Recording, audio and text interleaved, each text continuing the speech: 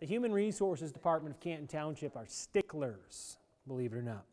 Okay, now I'm going to pass around this beautiful little sheet that I just read off of. Please indicate your political party preference that is on the application you filled out and sign in. We will be paying you $20 today, which is less than you would make if you were at McDonald's right now working for two hours. Um, but we do want to show our appreciation for you for being here.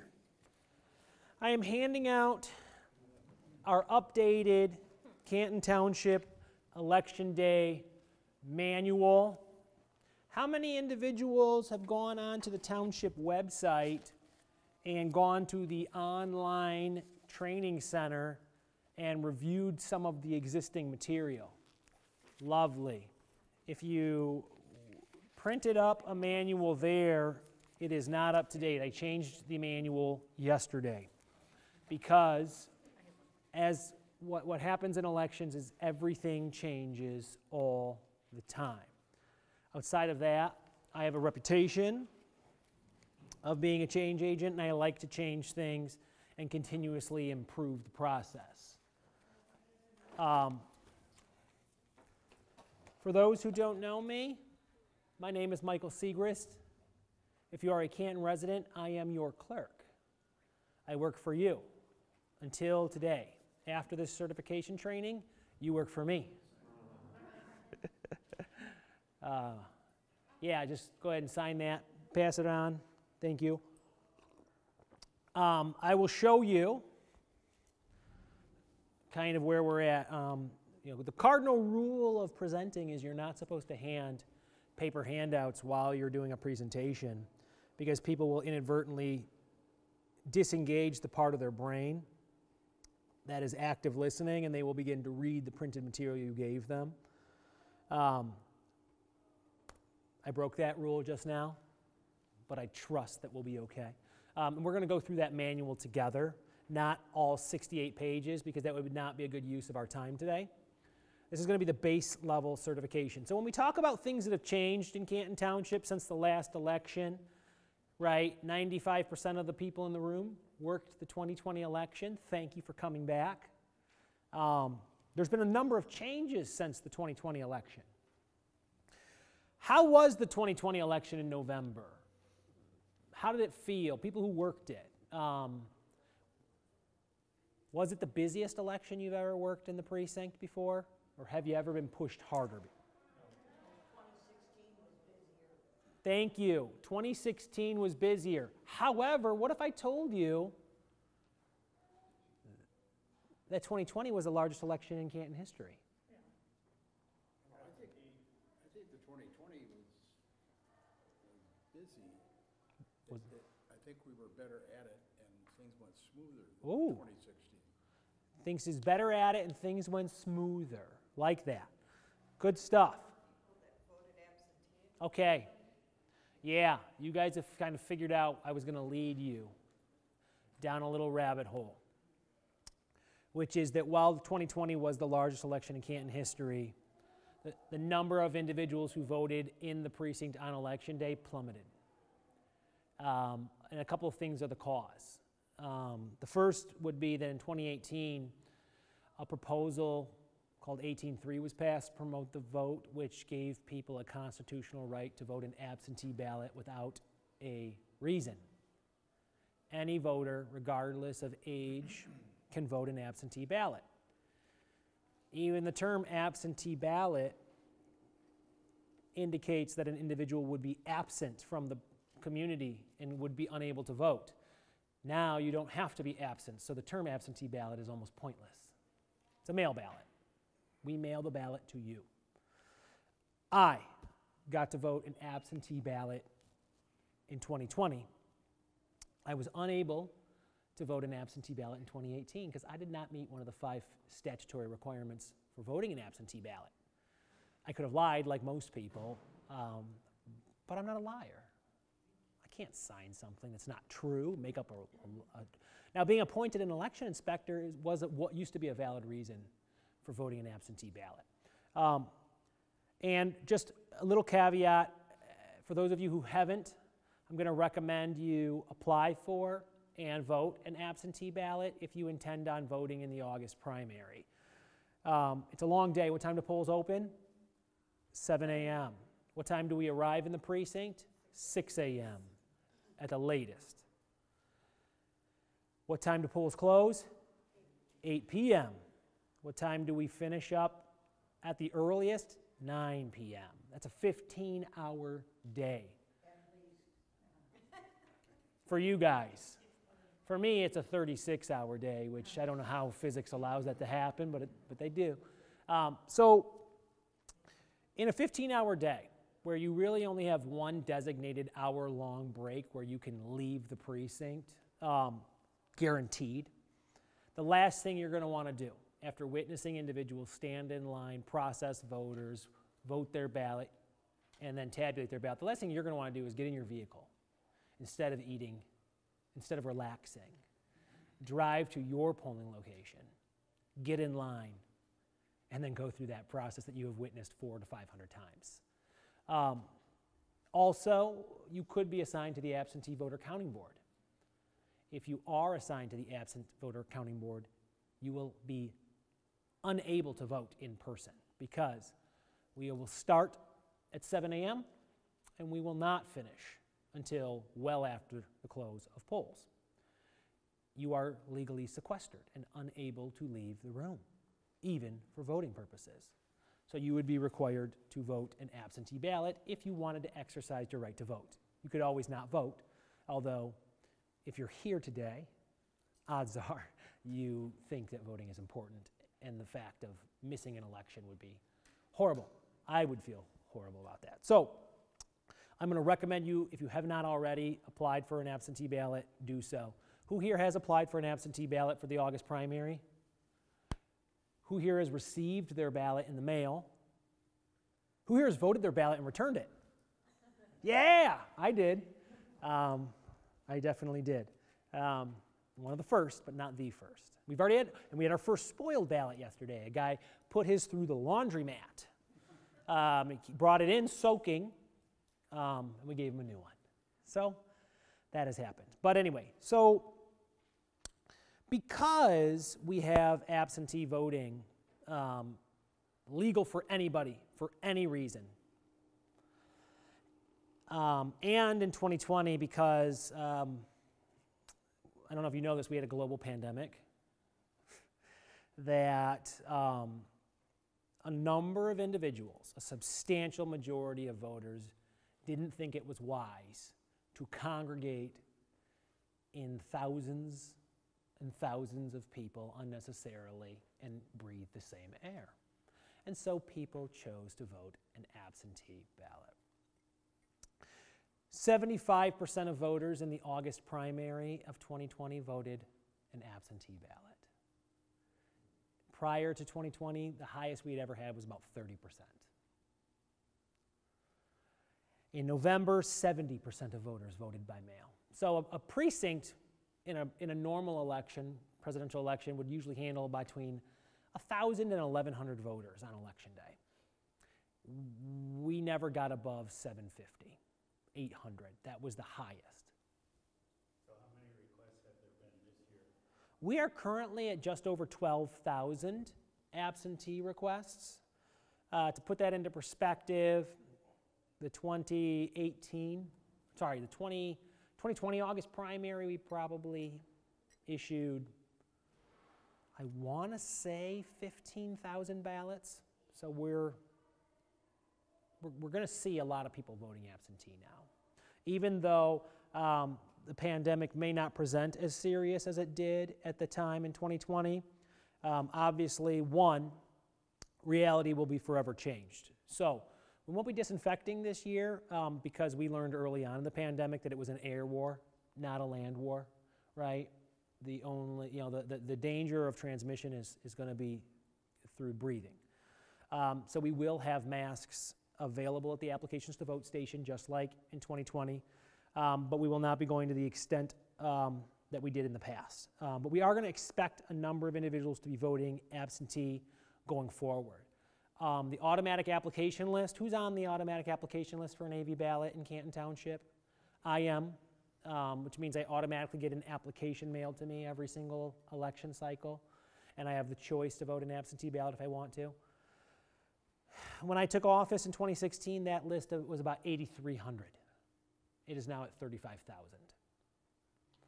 Um, so life has changed substantially. And as a result, we have consolidated precincts. We had the decennial census happen in 2020. And as a result, we used to be in the 11th congressional district. We are now in the 6th congressional district. We have to compete with Ann Arbor now for political power. We used to have Oakland County we had to go up against. Now it's Ann Arbor. Okay, we are in the 6th congressional district. A number of other things have changed.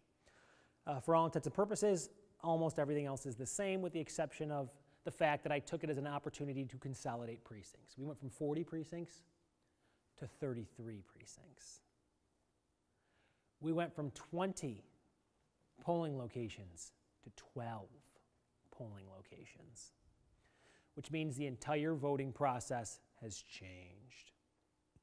How we run the precinct on election day has changed, which is why my two brand new folks have nothing to unlearn. Walker Winter is gone. No more Walker Winter. I mean, it's still physically there. It's still a school in the Wayne Westland School District. Kids are still being educated there, but it's no longer a polling location.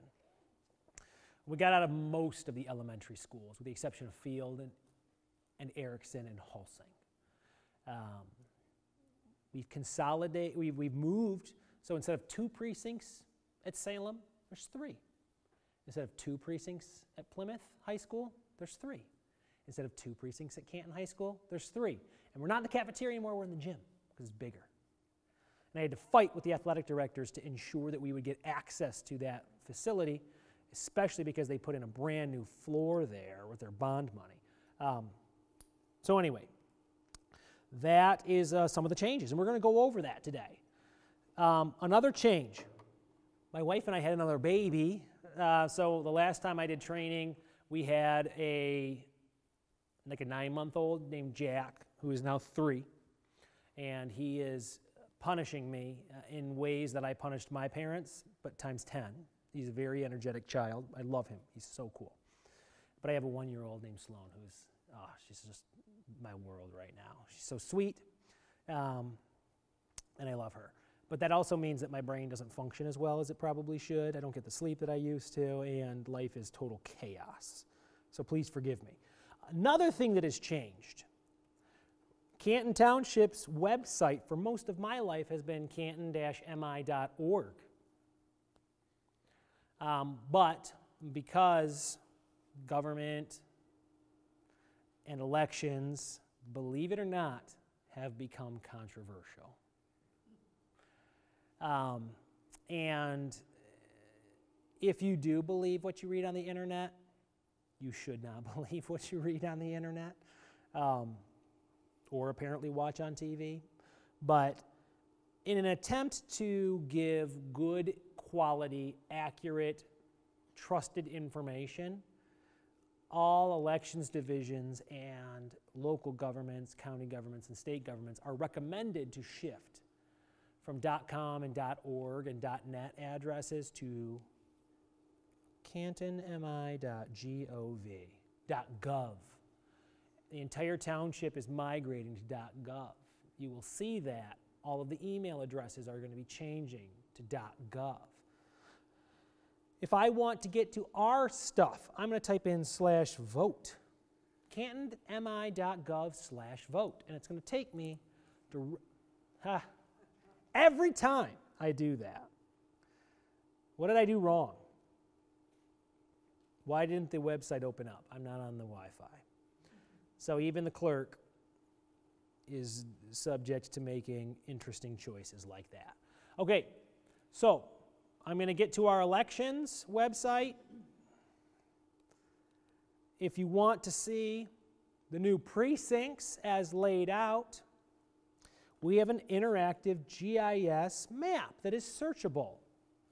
Notice in the past, if you worked, you may have been at precinct 4 and precinct 20 in the same location, precinct 1 and precinct 37. That's because there was no rhyme or reason to how the precincts were numbered. One, the precincts are now numbered sequentially one, two, three, four, five, six, seven, eight. So if you work at a location, odds are it'll be precinct seven, precinct eight. That part has changed a little bit. But this is what the new precincts look like. And those are our 12 polling locations, these beautiful little blue dots. Um, and um, I can go in there and I can type in my address 245 Princess Drive. And it's going to take me to my house and it's going to show me this beautiful number, little this number 15 right here. I'm in precinct 15. This is my house. I vote at Field Elementary School. There's the address. I used to vote at Bentley. So, what does that mean? That means my neighbors. Now, they're going to get noticed. We have put it in the focus for the last four months. We have it on the website. We are going to be mailing everybody very shortly new voter ID cards. They'll probably come into your precinct and be like, Do I need this to vote? No, they don't. That's nice they brought it. And that's going to tell them where they vote. But people ignore. And we're busy, right? We're all busy. I mean, I have those two kids and I have three dogs because I'm a glutton for punishment. Um, and so lots of things are competing for my attention. So let's say I show up at Bentley on election day. One, Bentley's closed, so there's no voters there, there's no inspectors there. Um, but there's a sign there that says your polling location has changed. It's going to direct me to this map. I will look it up and I will go to the correct location if I'm lucky. Um, if uh, I used to vote at Field and I show up at Field, well, I might get in line. That's something we're going to have to figure out. So, so that's something we're going to want to keep in mind.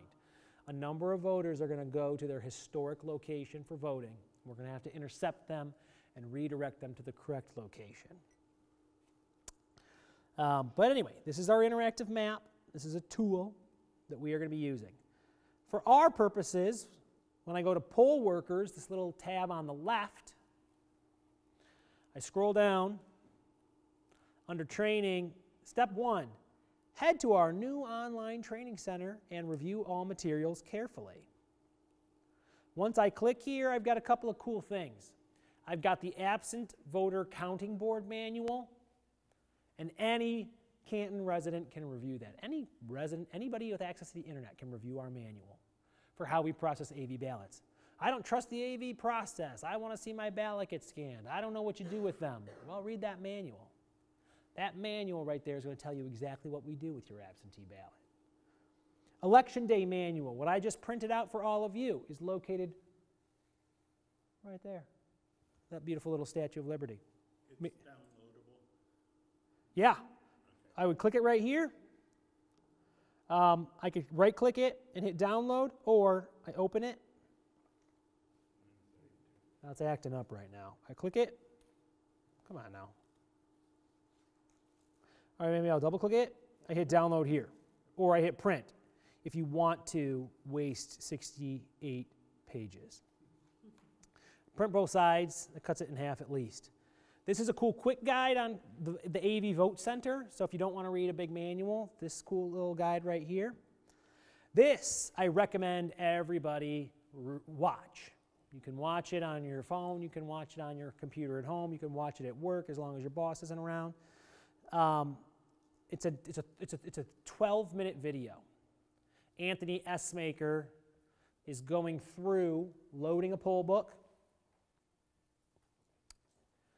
processing voters, and then running the reports at the end of the night. That scary process that we worry about, he goes through opening, closing, and processing voters in 12 minutes. Well, that's pretty reassuring. If I were showing up and I was not comfortable with the poll book, let's say I chose not to read, watch this video between now and election day, and unfortunately nobody in my precinct watched this video between now and election day.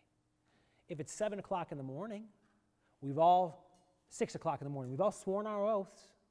People are going about doing the things we do in the morning. My EPB person could go online on their phone click on that video and watch it as they set up the poll book.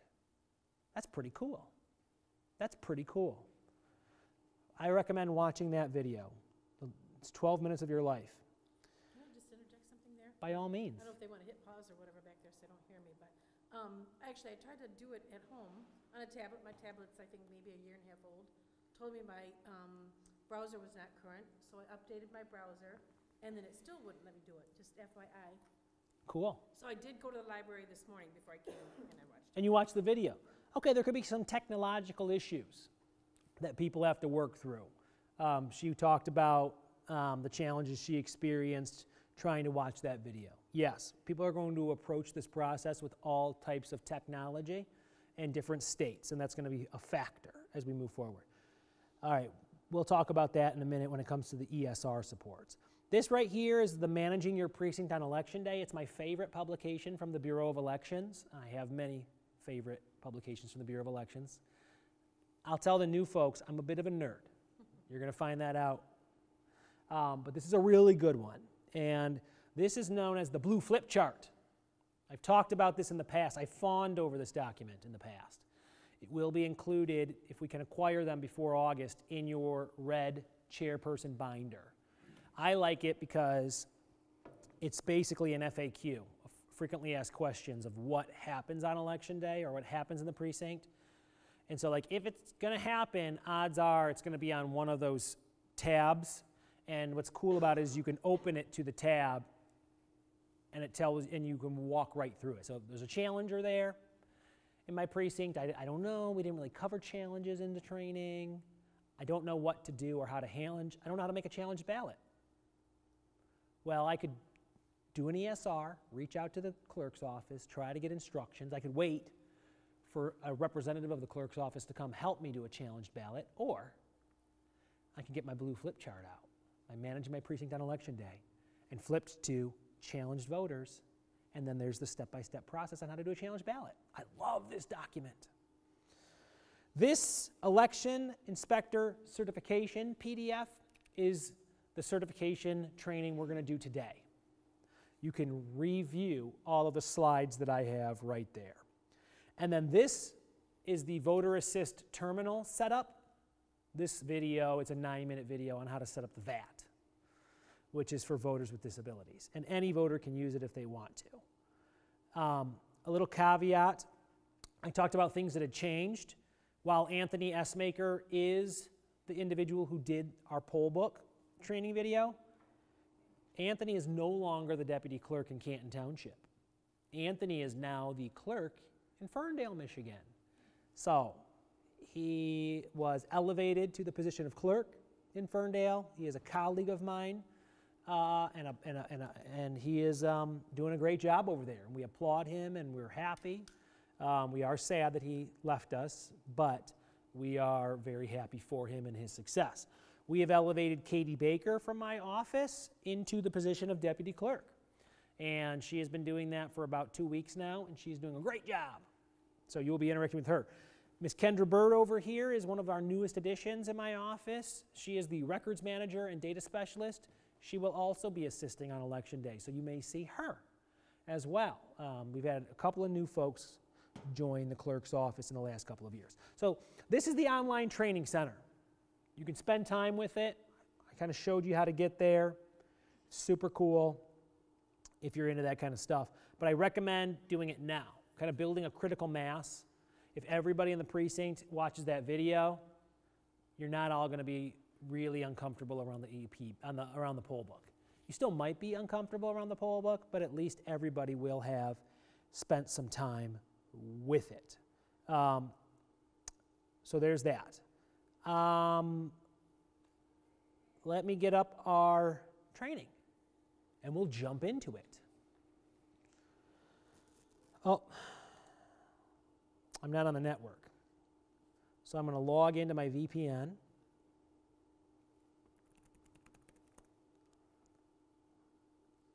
And then I will be able to open up our PowerPoint for today's training. There it is. You've all seen my recent folders. So there you go, my recent files. Notice it's like all election. related stuff. Um, here we go. Oops, that's not what I want to do. That's what I want to do. Okay, so it's going to take it a little while to connect. First and foremost, this is uh, about the HR process, and we already kind of got this out of the way. Um, everybody has to um, fill out a new application every two years. Brand new folks have to fill out a whole packet with a lot of information. What is the point of training? The first point of training is it is required by Michigan law. I am required to train inspectors every two years. Your, this certification process will expire in two years. Um, also, laws and, and, and, and procedures change every two years. Uh, the 2020 process went virtual. We didn't have in person training in 2020. Um, so that was interesting. What is interesting is that we did notice um, that errors reduced in 2020. So perhaps there's something to be said for the virtual training that we did. Homework reminder if you haven't gone through the manual before today, please do so before election day. And I'm just going to like speak briefly on this. Um, prior to being elected clerk, and I was elected in 2016, um, I did tax work and accounting work.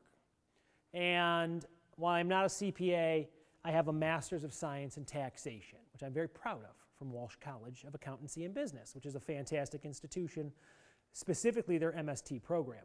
Um, which really means I'm a specialist in the US tax code. And the US tax code is pretty gigantic, right? And every couple of years, people run for office and say that they're going to shrink the tax code, and they're always lying.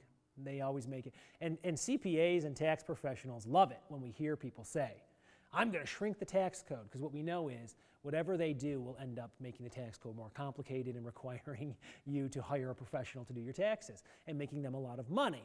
Um, so be very wary of people who say they're going to shrink the tax code. They're always lying.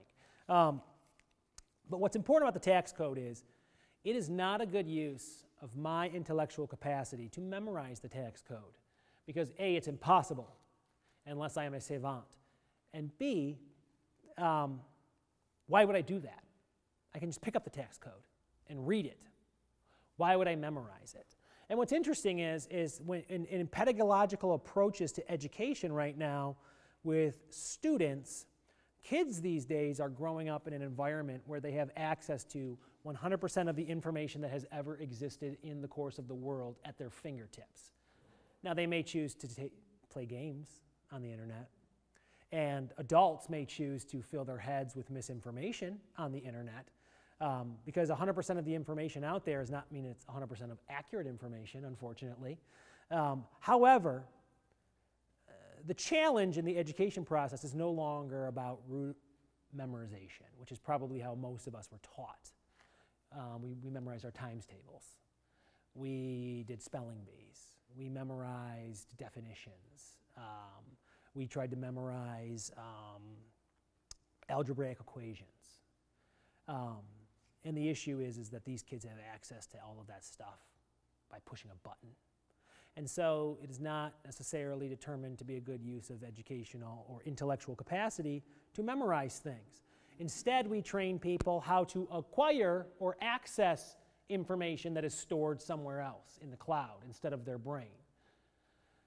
And I'm going to ask you to do the same thing. No CPA should memorize the tax code and no clerk or election inspector should memorize the manual. Don't be overwhelmed by election law. Don't be overwhelmed by the manual. Do not try to learn everything. You will be paralyzed. Instead, what they trained us at Walsh and what I train inspectors to do here is I need to learn how to use the tax code. I don't need to know that Section 63 is where income is defined and taxation is established. I just need to know how to use the index. I don't need to know that Section 200 is where the deductions are. I just need to know how to use the index. I don't need to memorize every deduction. You don't need to memorize everything in this manual. When you move past the beautiful front page, you get to the index. And the index is very simple. It's color coded. Green is getting started. That's going to help you use this manual. Blue is opening the polls. If I'm going to focus on election morning, I'm going to open up to the blue. If it's 6 a.m. and I'm a chairperson, I'm going to get my red chair binder. And I'm going to do two things. I'm going to pull out my receiving board ticket, which is this beautiful little thing. And we're going to talk about this a lot. Because in 2020, we piloted this. And a number of these were not brought back on election night. I can tell you this you will not be excused on election night without bringing the receiving board ticket. This is the ticket to see the receiving board, this is the ticket to go home. It's also a super awesome checklist. And if you do the bare minimum and check every one of these items, no matter what happens on election day, you will have won, run a legal election and a decent election. It may not have been pretty, but this is all you need to do. This is the base document. And so the first thing I would do if I'm a chairperson and I walk in at 6 o'clock is I would immediately go to this document, I would unfold it, and I would set it down on a table. If I were a good chairperson, the second thing I would do is get my manual out and open it up to the baby blue section. Um, but to get there, the third page is going to have how to get support from the clerk's office throughout the day. Let's say I have an older smartphone or I don't own a smartphone or I just don't feel comfortable around technology. That's fine. We welcome everybody to work the elections. I would find somebody in my precinct who is good with technology, and I would say, You are going to be responsible for this. This is a QR code. Most people at this point understand what a QR code is. If you've seen these, they exist in the world. If you've never used them before, that's fine. I, I don't use them much. Uh, they were really popular at restaurants during pandemic. They got rid of the printed menus, and you would do the QR code. But then, if you're like my mom, you'd be like, I- am not doing that. Can I get a paper menu? And she would get a paper menu, and she never learned how to use a QR code, and she's going to go on in life, and that's fine because she just decided to stop moving forward with everybody else. And there's a point where, like, I do that with a lot of stuff too. Almost like I'm not, I'm not buying into whatever this, this is. I'm gonna kind of stick with kind of what I'm comfortable with. So if you're uncomfortable with QR codes, find somebody who isn't. They're going to get their camera up, they're going to put it over the QR code like this. They're going to click on the link that pops up. See, you don't have to be in the Starship Enterprise to figure that out. You point your camera at it, a link pops up, you push the link, and you've got access to the ESR. And the ESR stands for the Electronic Support request form. And we piloted this in 2020. And thank you for using it because you all won me an award. My office won an award from the U.S. Election Assistance Commission for outstanding innovation in technology and cybersecurity, for using the ESR support and dispatching according to the ESR report and using the quantifiable information through the ESR report. Because in the past, you would all just call my office. in the past, did anybody here ever call the office and not get the, the phone picked up? Did you ever call the office and get put on hold and then no one picked the phone and no one, no one picked up the phone again? And here's why. There are 300 election inspectors. There are 75,000 registered voters. And there are six phone lines in Township Hall for the clerk's office. Do the math. You don't have to be, you don't have to have a degree from Walsh College to do that math. That math is very simple. The phone was the least efficient way to handle issues on election day. And so we created this little electronic support request form. I identify the location of where I am, my precinct number. I select what has happened or what is going on, and I type in the details. Maybe I need to look up a voter because they were issued an absentee ballot and they don't have it with them, and I want to make sure that they're not going to try to vote twice. I hit the ESR report, I type in the voter's name and DOB, I send it to the clerk's office. What happens is it immediately is populated through this form onto a giant crash board in my office. It's a spreadsheet. Based on the severity of the situation, it is color coded and will jump to the top of that. And we begin to dispatch based on the severity of the issues. That's called triage in an emergency room, right? Because while I running out of I voted stickers is very important to the one person in station number four in one precinct because voters get very upset if they don't get an I voted sticker. That, believe it or not, in the realm of incidences that we will deal with on election day, would not rise to a level five severe situation. It might be a level five situation for station four. And I respect that, I honor that, I appreciate that, I love that. It is not a severe situation for us. And then we will have those rovers out in the field. We will have them either dispatched to your location within two minutes if there's an incident, or because you type in a callback number, you will re- receive a phone call on that good number from my office within two minutes. We will either walk you through the solution or we will ensure somebody is there. Now, one of the benefits of having 12 locations instead of 20 locations is we have the same number of staff. Staff people will be able, rovers, staff people will be able to spend way more time in your precinct on election day. They will be there to fix tabulator jams, to help with challengers if you don't know, to help with provisional ballots if you're confused about how to do a provisional ballot, all those weird, intricate things. My representatives will be in the precincts. I will be able to get to more precincts. So a rover will be in your precinct every half hour helping you balance, helping you solve poll book issues. So that at the end of the night, there's not a bunch of weird stuff going on that you have to kind of solve and try to figure out. And then 9 o'clock turns to 10 o'clock, and 10 o'clock turns to 11 o'clock. Or you decide to leave at 9 o'clock, you come to Township Hall, and then we have to call back every inspector because something wasn't done right.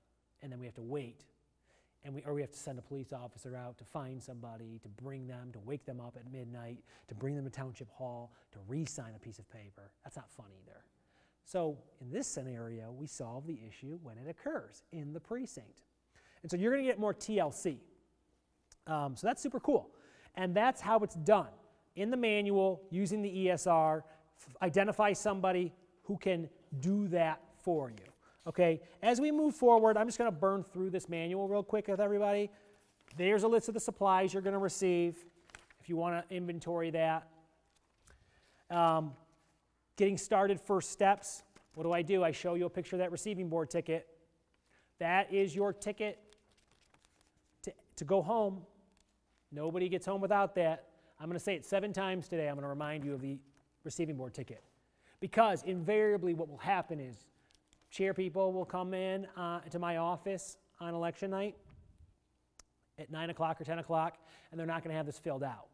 And what I'm going to do is I'm going to be saying to you, Do you remember when I was pacing back and forth? And I told you I'm going to tell you seven times about this receiving board ticket and how you can't go home without this receiving board ticket filled out. I prophesized in that moment that you would be here today having not had this filled out. And I just want you to know that, like Nostradamus, I am a fortune teller. And I knew this was going to occur because I knew that my seven reminders of the insignificance of the receiving board ticket would go unheeded and you wouldn't be done. And now we're going to go through it. So it has been three times I have mentioned the receiving board ticket. We've got four more to go. All right. There's some information there about the tabulator. But opening the polls, this is where I would start on election day. And what's cool about it is, is so it's color coded. The top is going to tell me where I am in the manual. If it's the beginning of the day, I better not be in purple because purple's closing the polls, right? There's a summary of what the blue section is. This section covers the basics of opening the polling location and preparing for the first voter. This section covers setting up the tabulator, setting up the voter assist terminal, preparing the laptop, and organizing all supplies. Okay, that's a good summary. If I have a concern or a question about supplies, it's probably going to be in this section. If I want to know how to set up the tabulator, it's going to be in this section. If I want to know how to close the polls, yeah, that's probably not in this section, right? Cool. There are two ways to look at the world. I am not the first person. There is on the beginning of every one of the sections a diatribe, a long list of words. There are 16 items here that if you really like detailed instructions and you are a technical person, you can go through this 16 point plan to open up your precinct as a chairperson. You could pull this out, go through all 16, and then grab your receiving board ticket, there's the fourth one, and you could then do the checklist. And the checklist is the beginning, during the day, and then close of polls. If you're not the kind of person, because I see a wall of words and I don't read them, because my brain just, I, I, I, have a lot of things going on, and I, I don't have time to read a lot of words. Especially because it's election day, I'm jazzed up, I want to do a good job, I might be brand new, I might be concerned about how things have changed. I'm not up to date on all of these changes. I want to look competent with all my team. They're behind me. They want to see me as the fearless leader. So I, if I get into these words, I might get a little bit confused, and, and, and that might be too much for me. So then there's the IKEA, model of education, which is the photos with small amounts of words. IKEA doesn't have any words. We at least do some words, okay? That's going to show you step by step through photos how to log into the tabulator, how to turn it on, how to open the polls, um, how to print a zero report tape. For those of you who are brand new and have never voted in person, this is the tabulator right here and the ballot bin. We're going to make sure we check in the morning that there are zero ballots inside our tabulator. This is where I make my obligatory joke about how you know, we start with zero votes being tabulated on election day. As I move forward, there's information here about how to set up the voter assist terminal.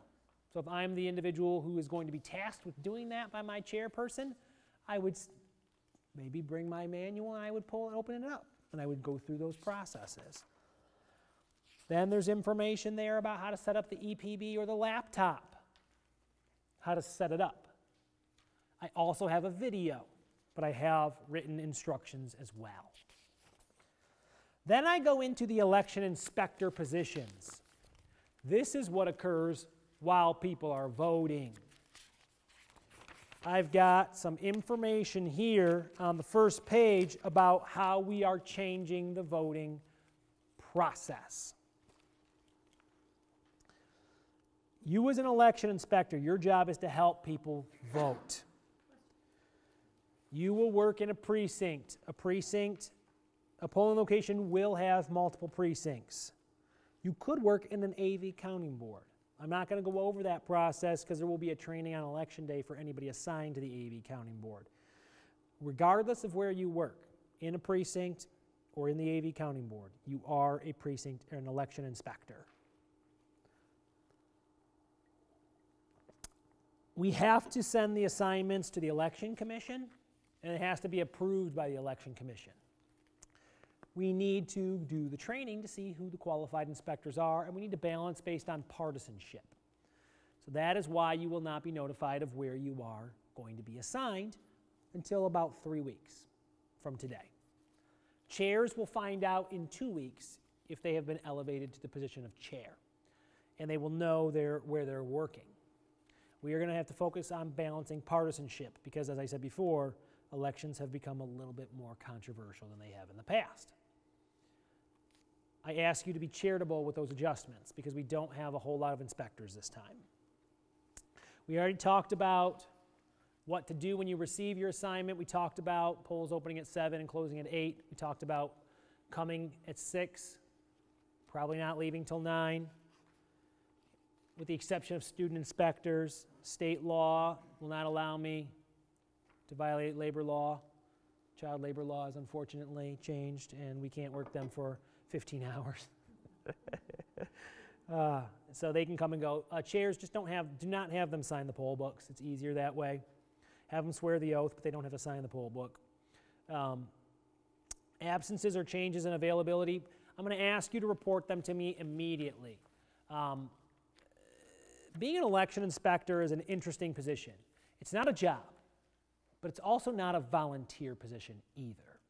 This isn't the Kiwanis. We're not doing a pancake breakfast. We're not raking leaves at the local park. You can't just say, ah, there's other 30 other people. They're going to show up. I, I, I really wanted to help out today, but man, I was up late last night, or the one year old wouldn't sleep. I'm so tired. They'll understand. They're going to have plenty of inspectors. No. There are a few positions that require the swearing of an oath. When you raise your right hand, and those would be the U.S. military, those would be public safety or first responders, so police and fire, and all elected officials in the country. Also, precinct inspectors. You swear an oath. You swear an oath to uphold the Constitution of the United States of America. You don't swear to the president. You don't swear allegiance to the flag. You don't swear allegiance to me. You're not swearing on me. You are swearing an oath to protect the Constitution of the United States, a piece of paper, a set of ideals, the notion that we can become a more perfect union. That is sacred. That is almost spiritual in my mind. We swear an oath to protect the Constitution of the United States, the Constitution of the state of Michigan, which is cool, but not nearly as cool as the U.S. Constitution. Primarily because under the Michigan Constitution, you have to be 21 to vote, because it was done in 1963 uh, before they passed the amendment that allowed 18 year olds to vote.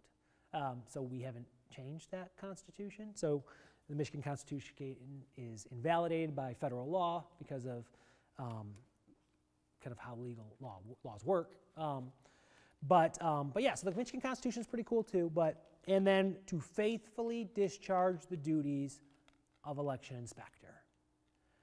We will always defer the rights of voters, the rights of challengers. We work for the people.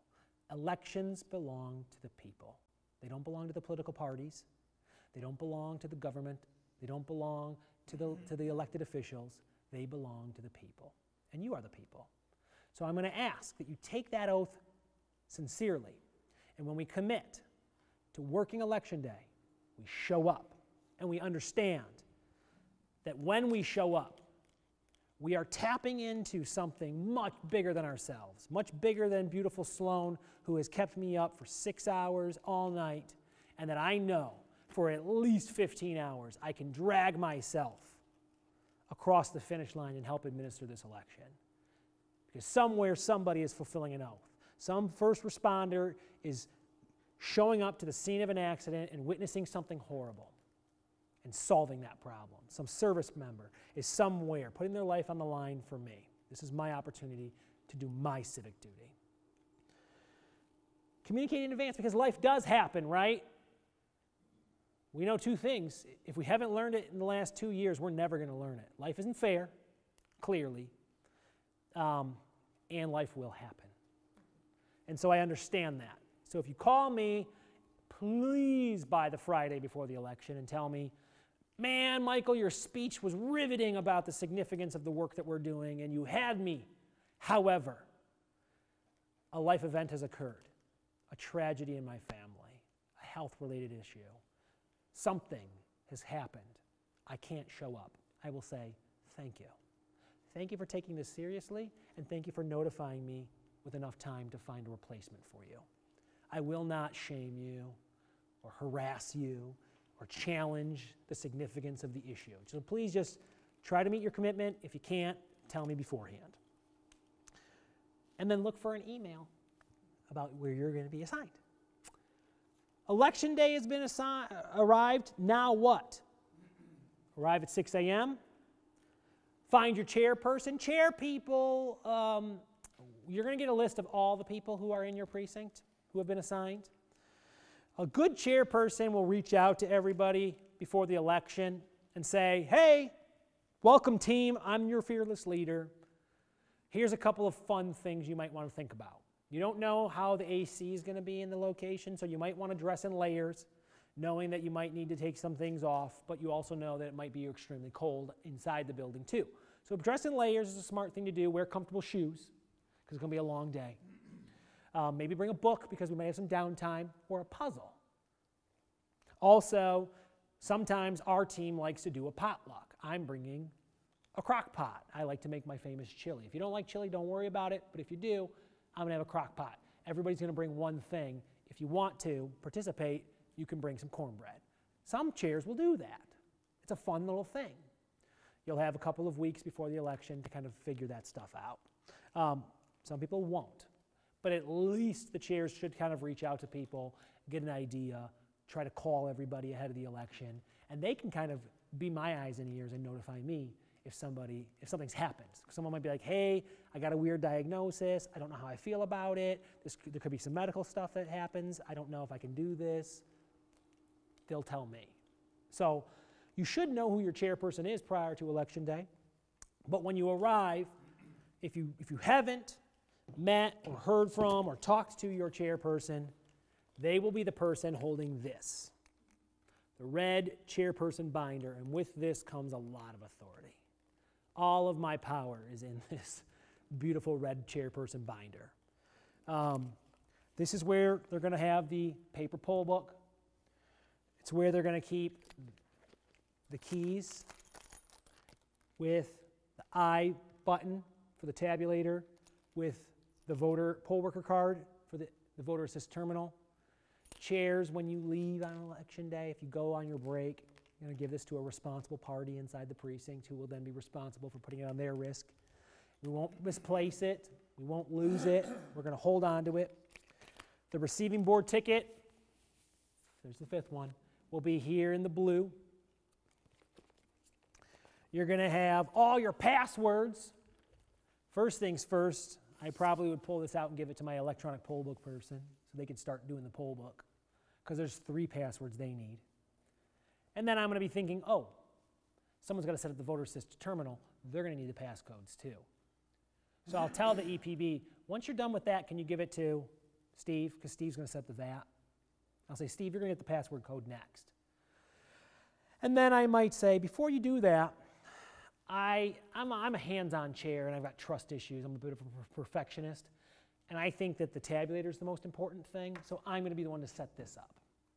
So while you're setting up the EPB, the poll book, and while you're setting up the voter assist terminal, I'm going to be setting up the tabulator. So I'm just going to make sure I get my passcode now. And the passcode is always the date of the election. So it'd be 080222, six digits. And I'd walk over here and I'd start doing my tabulator stuff, and I get my I button ready, and I have my passcode. And my EPB is up and running, and so they're going to pass that paper on, and my vice chair or somebody else in my precinct is going to be setting up the voter assist terminal. And other people are going to be setting up stuff inside of the precinct itself the signage, the rights of voters on the walls, the voting booths. It's all going to happen like a beautiful symphony. Is that a change? Uh, Anthony had mentioned to me that the uh, voting setup was already going to be made. Anthony was an ambitious man. and I would rather tell you that you have to set up all that stuff and have you pleasantly surprised by walking in on election day and seeing it all set up for you than telling you it's going to be done and then failing to meet my commitment that it's going to be done. So, just two different styles of doing things. Um, our intention is to at least have some things like the voter assist terminal set up for you. Um, and, but there will be work to do in the morning. So um, we will not have the entire precinct set up. But the layout will be done probably. Inside here, you'll also have name badges, election inspector, We're working on getting some cool stuff for you too. Uh, and then stuff for challengers. Little, little name badge for a challenger if you want to put that on the challenger. I would expect to see challengers this election uh, because, again, um, elections have become a lot more controversial. And these won't be our standard challengers who trust us and trust the process and know that we're like decent human beings and we're doing a good job.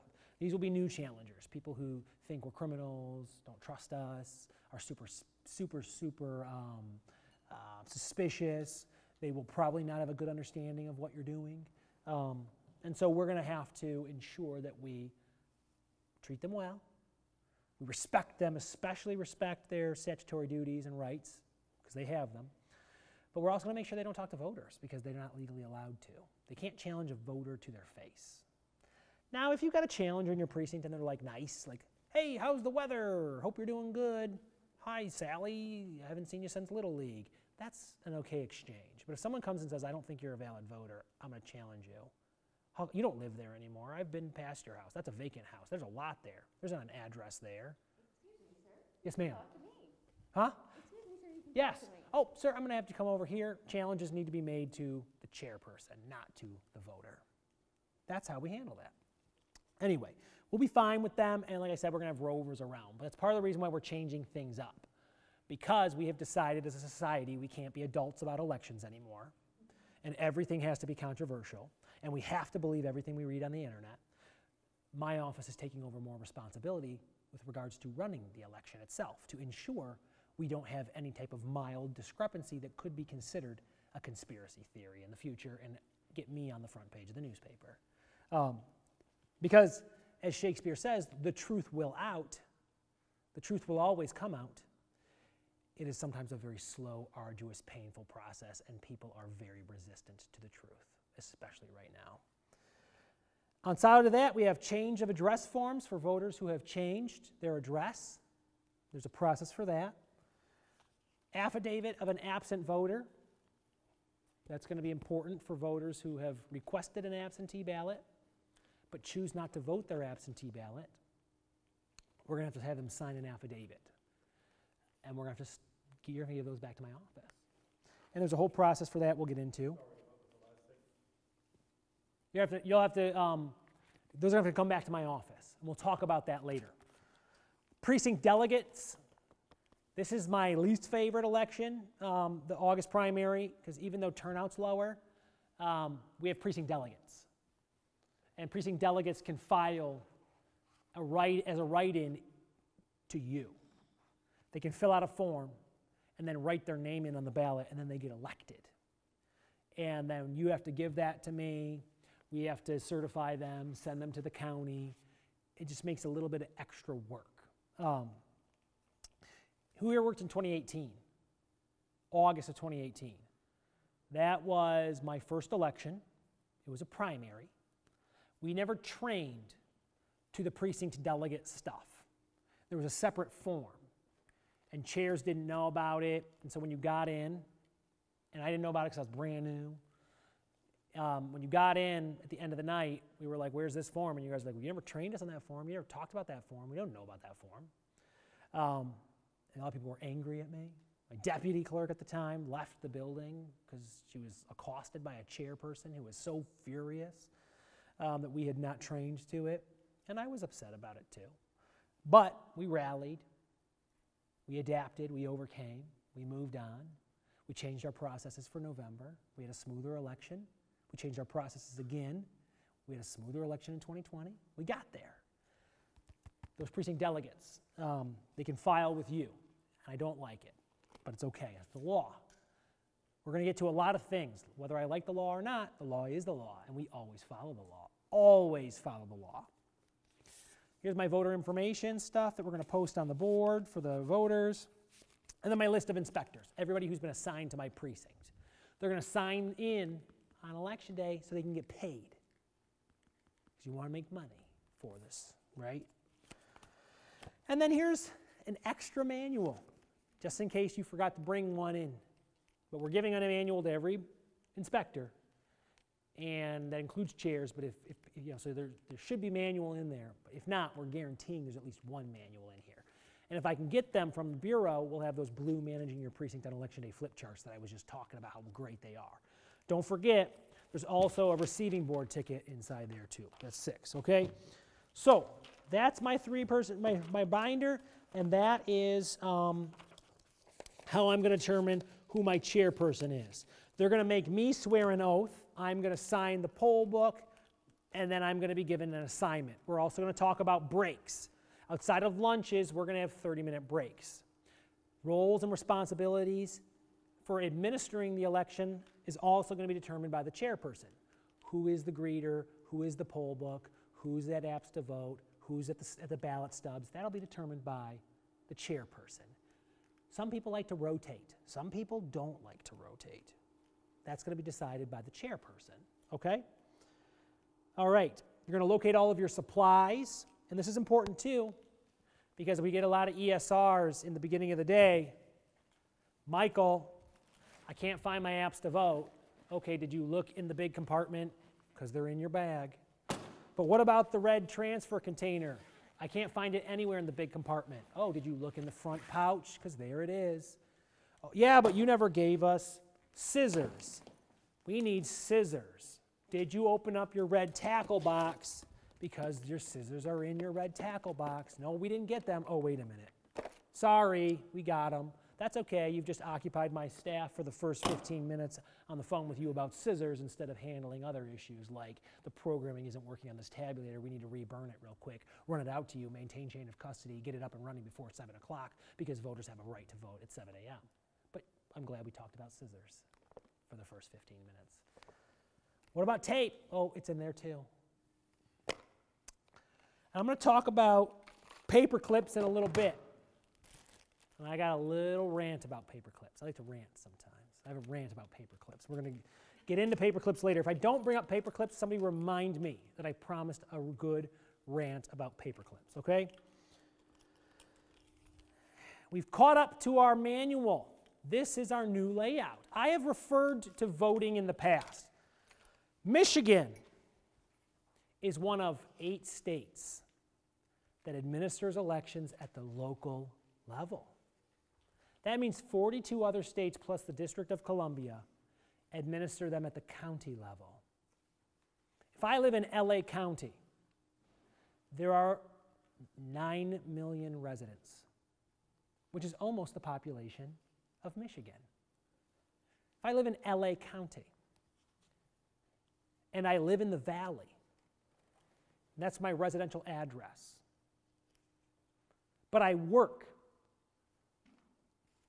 What's another place in LA? Like, I don't know. Who knows California?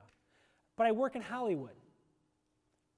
Guess what? I can go to my job at Hollywood, Universal Studios in Hollywood. I can work.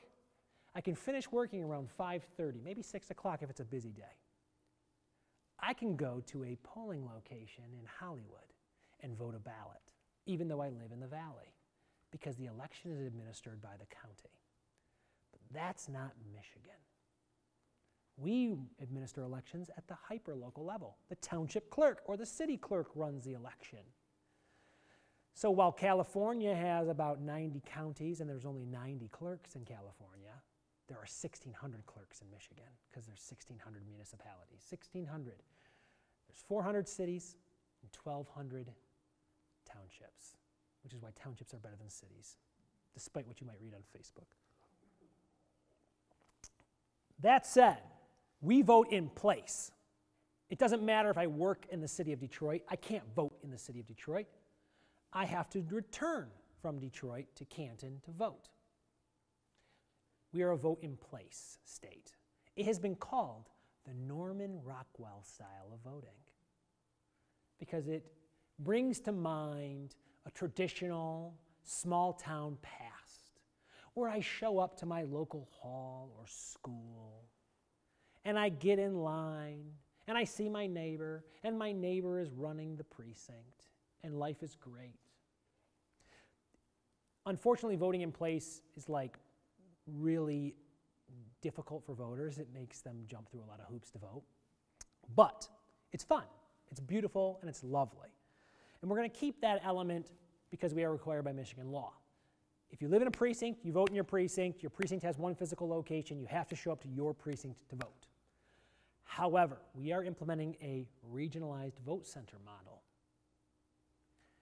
Um, another thing that has changed since um, the last election I have begun taking classes through Auburn University in Texas.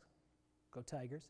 Um, the National Conference of Election Officials, also known as the Election Center, has a CERA certification course for election admins.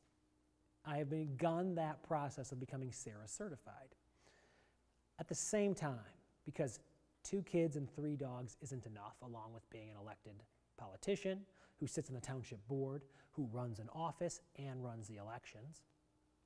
I'm also getting a graduate certificate in election administration from the University of Minnesota's graduate school, the Hubert H. Humphrey School of Public Affairs. They have a really amazing course there. And what's cool about both classes is I get a lot of best practices from all 50 states. There is no national database, right? There's no national election system.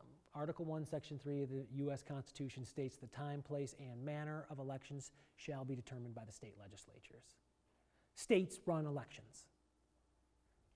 Every state has a different election system. Michigan's is stupid, but it's the system we got. Um, and it's, it's got its benefits. Um, here's how we're going to change it. So I'm taking MIT queuing theory, queuing theory from Massachusetts Institute of Technology, about how to improve your processing and maximize efficiency. It has been adopted by Disney and their theme parks, Cedar Point. A large number of concert and gaming venues use this.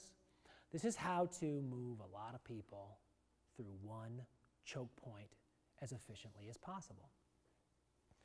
Instead of the buffet Norman Rockwell style of voting, I walk in, I fill out an application to vote, I say hi to an inspector, I walk my application to vote with my ID to the poll book, I walk to the next person, I get a ballot, I walk to the booth, I fill out my vote.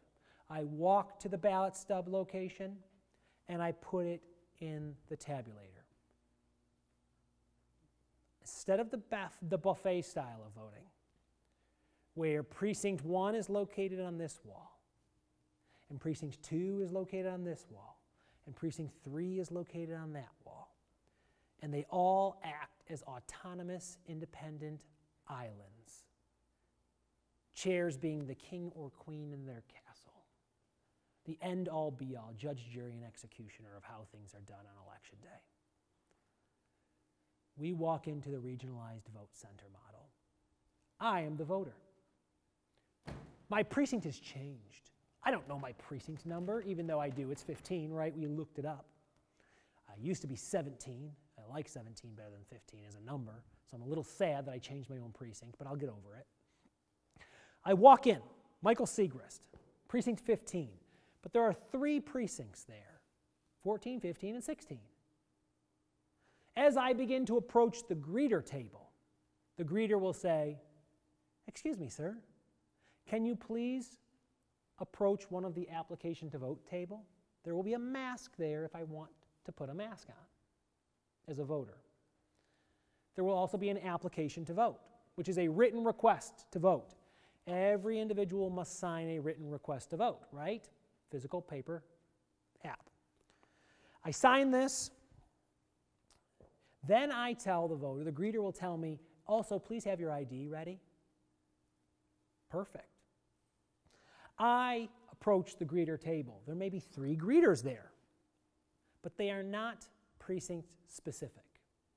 They have a tablet with the greeter app on it, which is a modified version of the poll book. A little different. The voter will tell them their last name. They will type it in. They will say, Oh, are you Michael Siegrist? Yes. Okay, you're, please proceed to line 15. They will write precinct 15 on my application to vote and give it to me. I walk to the poll book.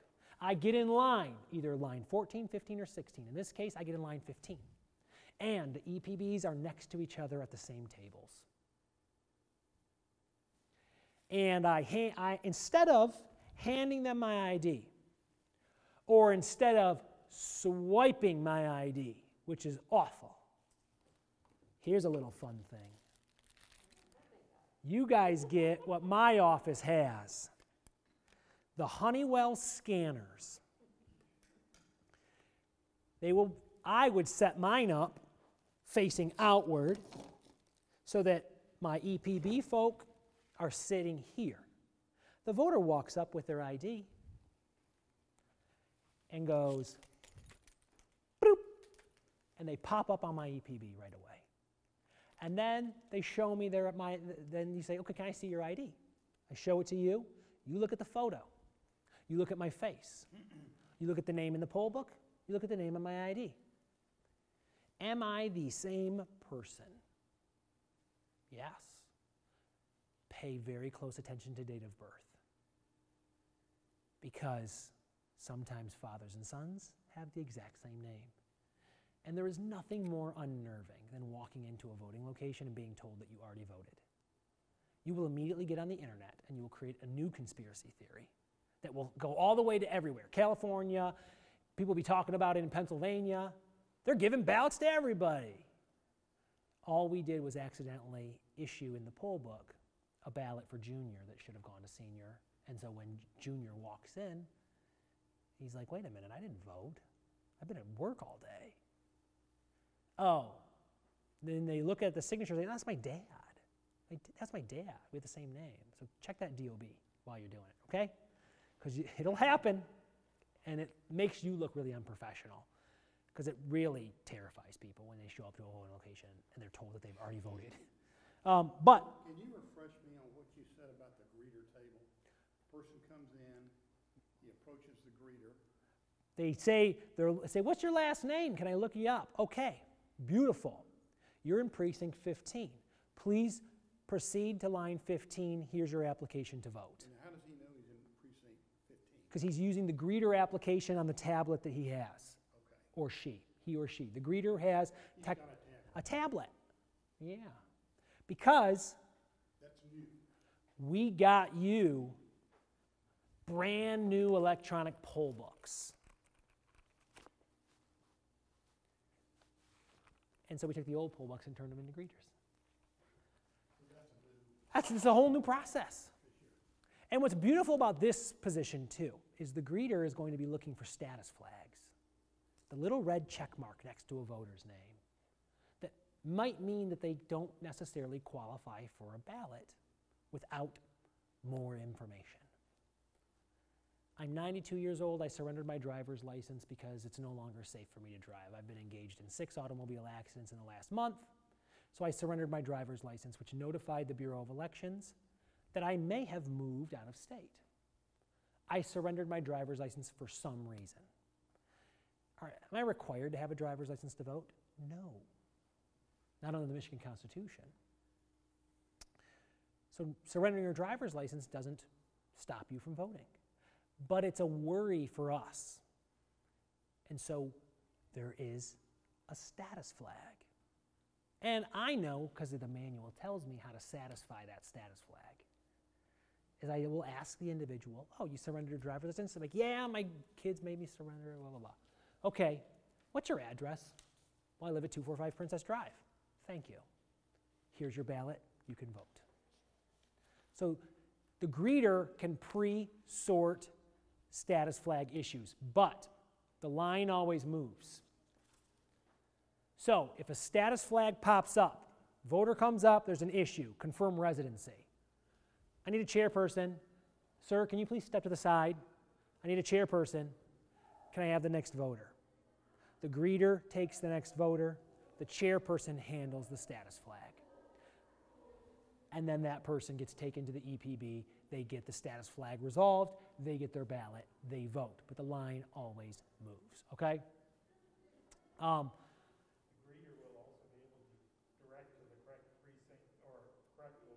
Correct. Who here knows what precinct they're in? Probably nobody because it's changed. unless you're in 27. 27 didn't change by a pure stroke of luck. Every other, every other number has changed. So nobody knows their precinct number. Is there any benefit to knowing your precinct number? Under the old system, yeah, because you knew what side of the gym to go to. Under this scenario, you just need to know what line to get in. And you're going to be told what line to get in by the greeter. And we're not going to say, okay, go to precinct 15, because that's a term of art that means something to us, but it means nothing to a voter. They come in, they're in line 15, they say, please proceed to poll book 15. Get to, go, go in line 15. They go into line 15, they get a ballot for precinct 15. They proceed to the voting booth. They make their choices. They approach the stub removal table where there could be three inspectors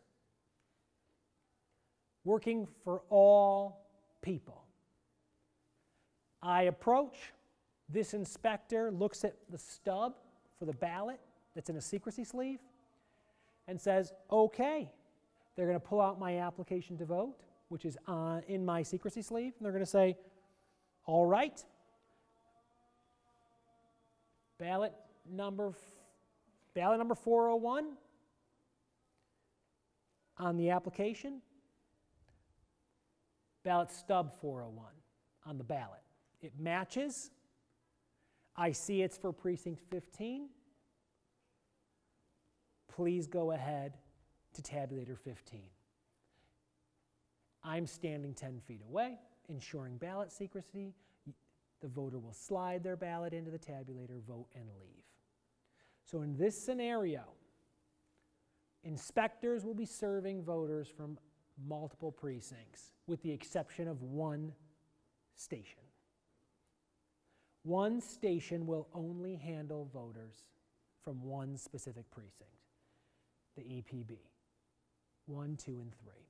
Based on how many inspectors we have assigned, this position could be one person. Issuing a ballot in the, in the, in the computer and handing the ballot to the voter. Confirming that those are, in fact, they balance, that they, that they match. Okay.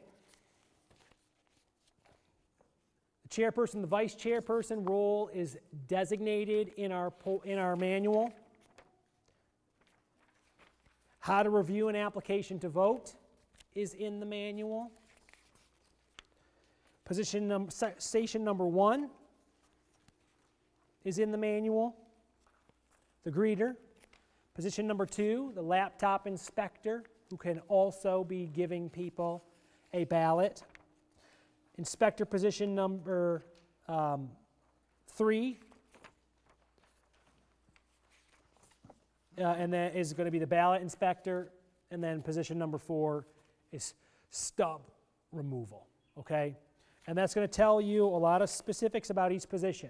So if you've got your manual on election day and you've been given an assignment by your chair, pull out your manual and read about your position. Okay? There's other information there about administering the election. There's information there for station number four about what to happen when the tabulator acts up. Remember, this is a primary in Michigan. There's no such thing as a registered Democrat or a registered Republican in Michigan because you don't register by party. In Florida, you register by party. In New York, you register by party. You can associate with any political party. You can become a member of any political party. As an inspector, you can identify with a political party on your application to vote, but you are not a registered Democrat or a registered Republican because we don't have a closed primary. Democrats and Republicans can vote in each other's primaries in Michigan if they want to. However, you can only vote in one. We are not an open primary system where I can get my August ballot and vote Republican for governor, Democrat for senator, Republican for Congress, Democrat for state representative. In the August primary, I can't cross over or I spoil my ballot. Vo- my vote doesn't count. I must stay faithful to the partisan section. And every August election, between 5 and 10% of voters will, will cross over vote.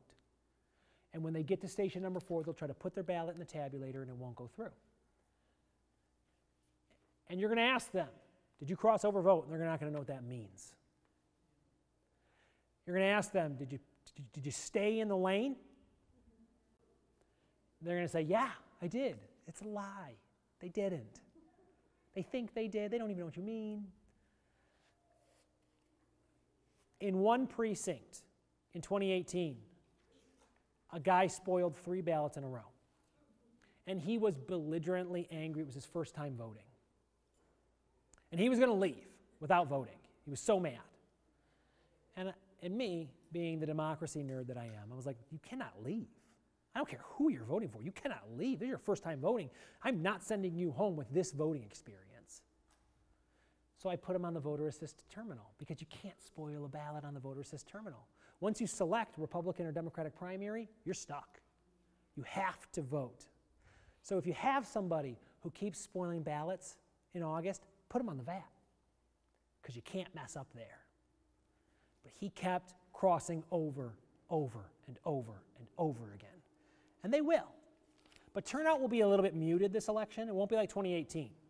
Turnout will be slower, lower, which means you're going to get your standard primary voters back. These are the, these are the professional voters. These people, they vote, they vote often, depending on the, not, not multiple times in an election, right? Because that's illegal and not possible. Um, but they don't vote multiple times in one election. They vote frequently. They know the rules. They follow the rules, okay? And in America, we have one rule. We have one rule about how to run a good democratic election. And by that's, um, that's, that's small d democratic, right? Whether it's a Republican form of government or not, every advanced democracy in the world follows this rule one voter, one vote. One voter, one vote. One ballot, let's say. And that's the key. Forget everything I say. Forget challengers, forget computers, forget all the stuff that we do. If you have 400 voters show up and you count 400 ballots, you've done a good job. And we do everything we can to ensure this. This is the foundation of our system. And when you see me on election day come into your precinct, I'm going to sneak in really quietly. And I'm going to walk to the tabulators first. And I'm going to look on the tabulator. And I'm going to see 400 voters, 400 ballots. Then I'm going to walk over to ballot station number four, stub station. And I'm going to check the highest application to vote. And it's going to say ballot number 400. That's a balance. We're in shape so far. Then I'm gonna then I'll get loud and you're gonna see me be my normal boisterous self where I'm like, hey, how's everyone doing? We having fun here today? What's going on? Everyone doing a good job? How you doing? Oh, it's good to see you. I haven't seen you in a long time. Where are we at in the poll book? How many, how many voters? Should be 400. If it's not 400, the conspiracy theorists will come eat our lunch. Because what will often happen is that number will be 399. And the free press or the news will run an article that says Detroit votes more ballots than voters. Canton Township, more votes than voters. Fraud. Is there fraud? Is there fraud in that situation where there's 399 voters in the poll book and 400 voters votes in the tabulator? Who here has experienced this happen in your precinct? Yeah, it happens every election at least twice in Canton Township. Luckily, we don't have 1,500 precincts like Detroit, 793 precincts like Detroit. If, we, if I did, it wouldn't happen twice, it would happen 100 times, which is what happens in Detroit, and then they get in the news. Um, no, no, no, no. So, what is the cause of that? It's one simple thing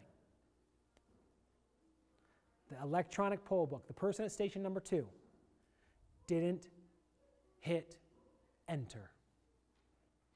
It is always the same issue. They didn't hit enter. Voter 100 comes in and they receive ballot 100. Brit. My ID scans in. The electronic poll book grabs me as a voter. It auto increments to the next ballot from the previous ballot that was issued. All things are great so far. Voter 100, ballot 100. What is the EPB supposed to do in that situation? Look at the ballot number. Look at the physical ballot. They match. 100 is in front of me, 100 on the screen. Either hit enter or click assign. If I don't hit enter or click assign, I give them their ballot and they walk off. Now, Michael Siegrist is a valid voter. He has shown his photo ID. He is registered to vote. He votes his ballot and puts it in the tabulator.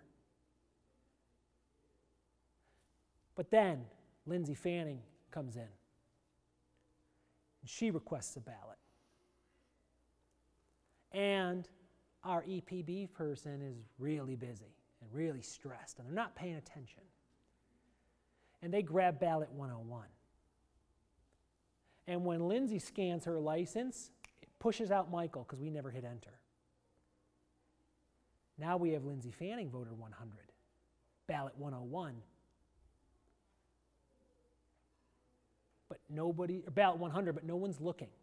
No one sees, they just grab ballot 101. Lindsay gets ballot 101. The system never recognizes that Michael Siegrist got a ballot, even though he's a valid voter, even though it's legal, even though we're running a legitimate election. Our number of voters and our number of ballots doesn't match. And we don't catch it because we're busy. And we're not balancing every 15 minutes or every 30 minutes. And we're moving on. We're churning along. We're not balancing. We don't catch it until 45 minutes later. We have processed 50 voters. We're in trouble. The clerk's here. He wants answers. Why are you trying to get him in the newspaper? Why do you want him called a bad clerk who runs a crappy election? What are you doing to the clerk? Are you committing fraud? No. And so I, am going to grab those applications to vote, which is how we're going to solve this problem. But we're going to have to keep processing voters while we solve this problem. And I'm going to have you visually inspect those printed applications to vote and find out where the discrepancy lies. And what you're going to see is that Michael Siegrist,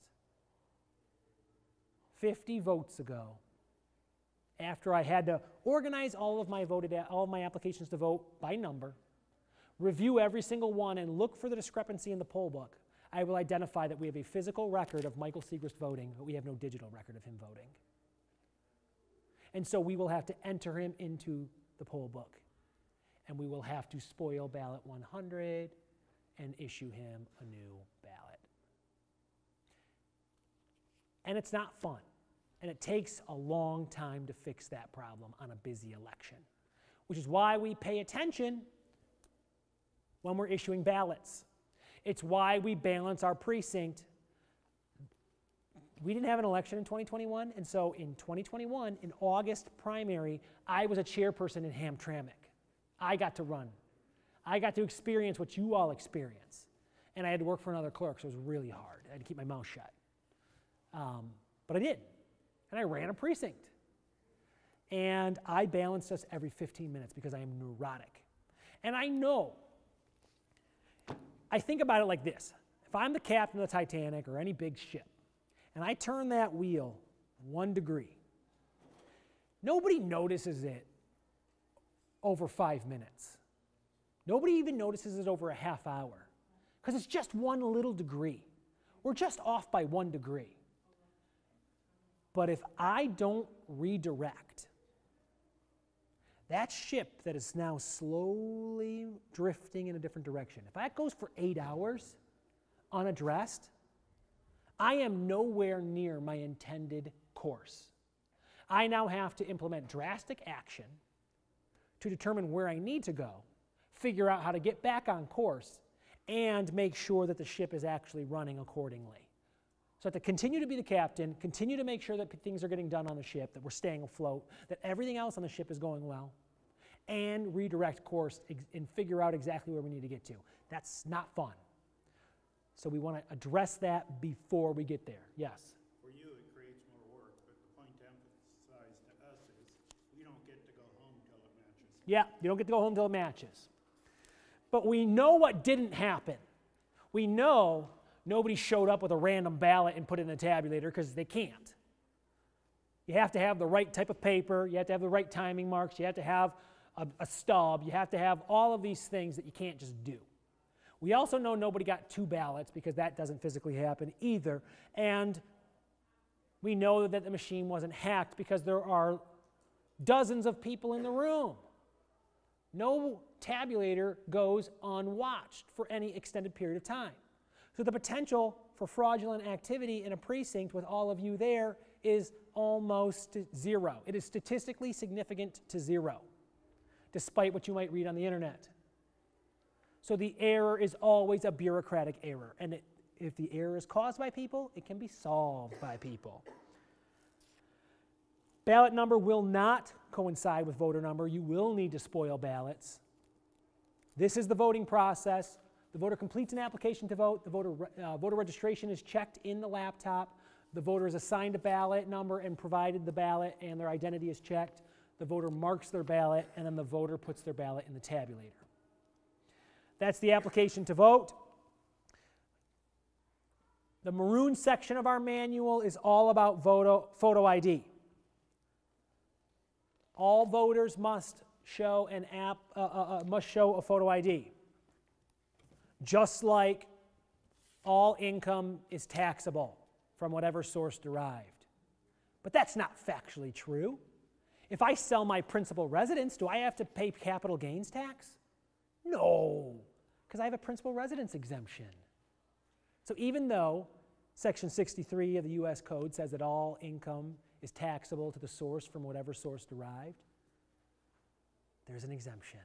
I can sell my principal residence and I don't have to pay tax on the first, whatever, $250,000, 300, 350, I don't know, whatever it is.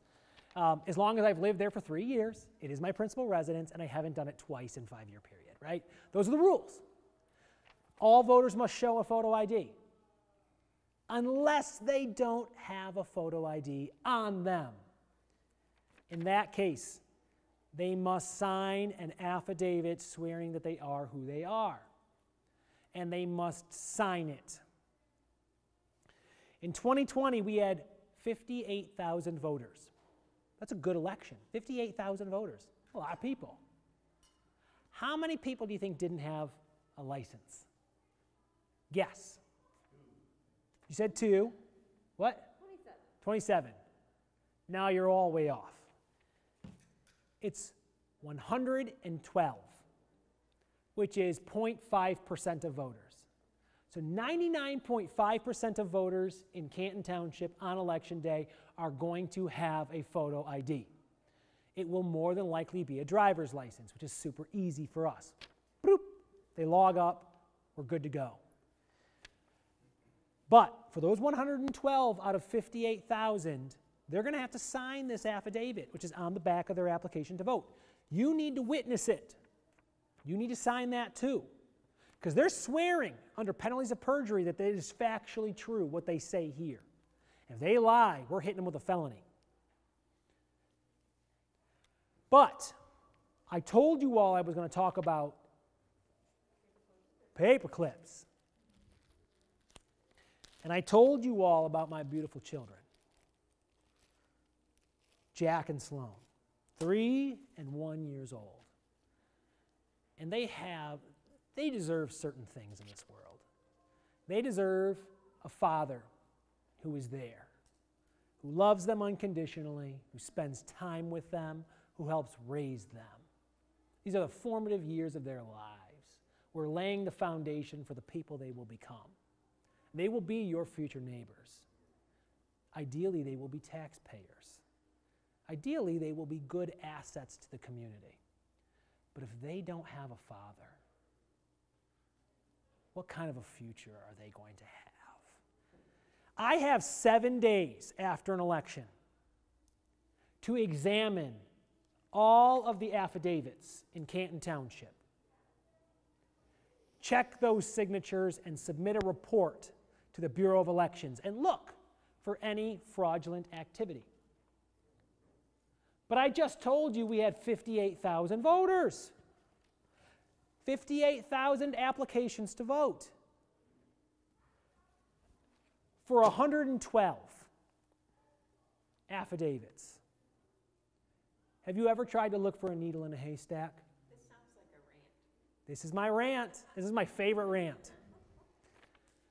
So I'm going to ask you to ensure that my children have a father. And it doesn't take me four days to go through 58,000 applications looking for 112 affidavits.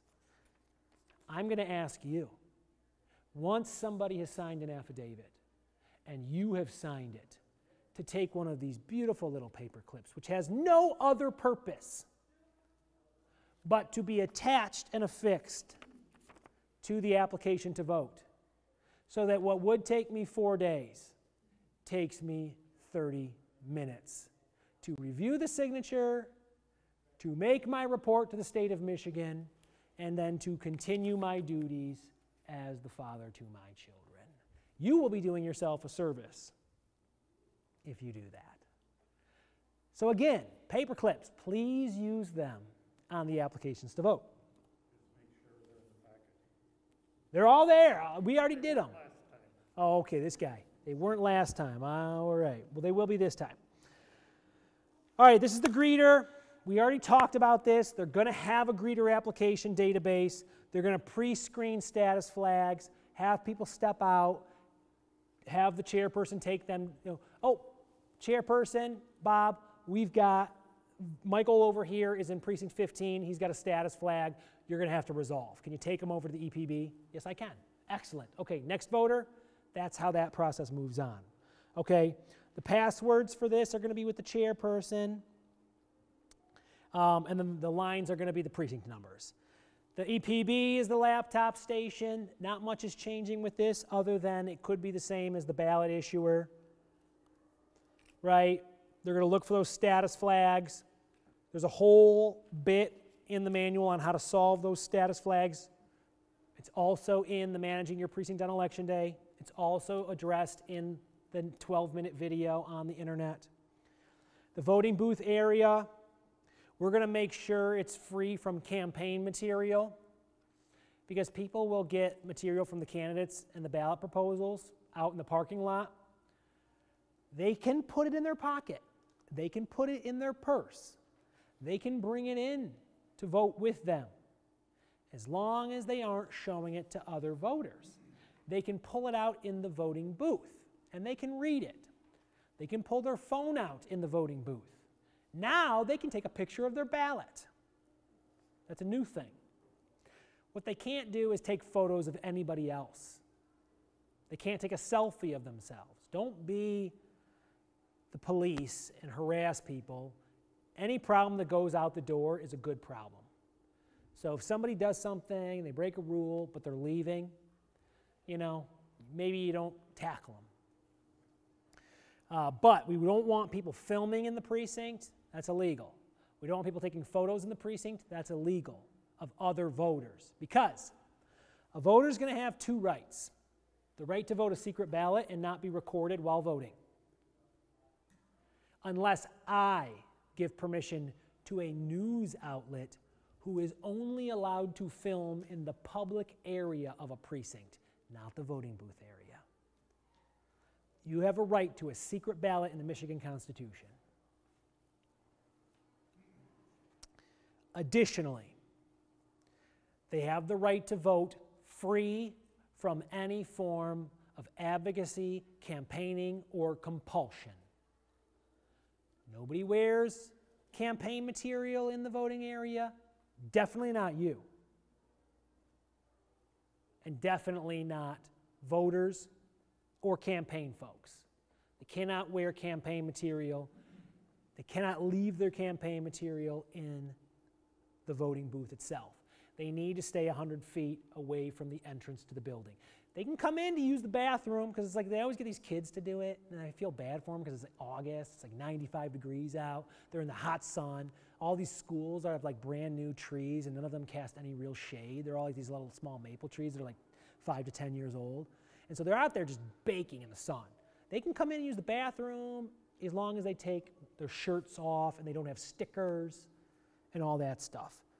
Voters are allowed to bring their children into the voting booth.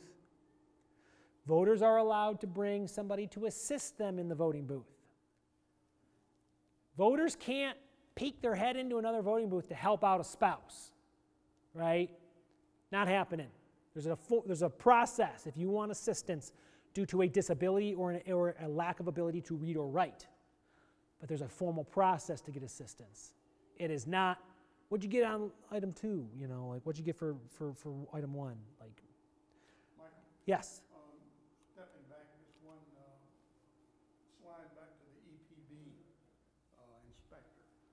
It sounds like what's changed this year from the last time was the EPB inspector will not only assign the voting, uh, number, but they'll also give the ballot. Could also give the ballot out.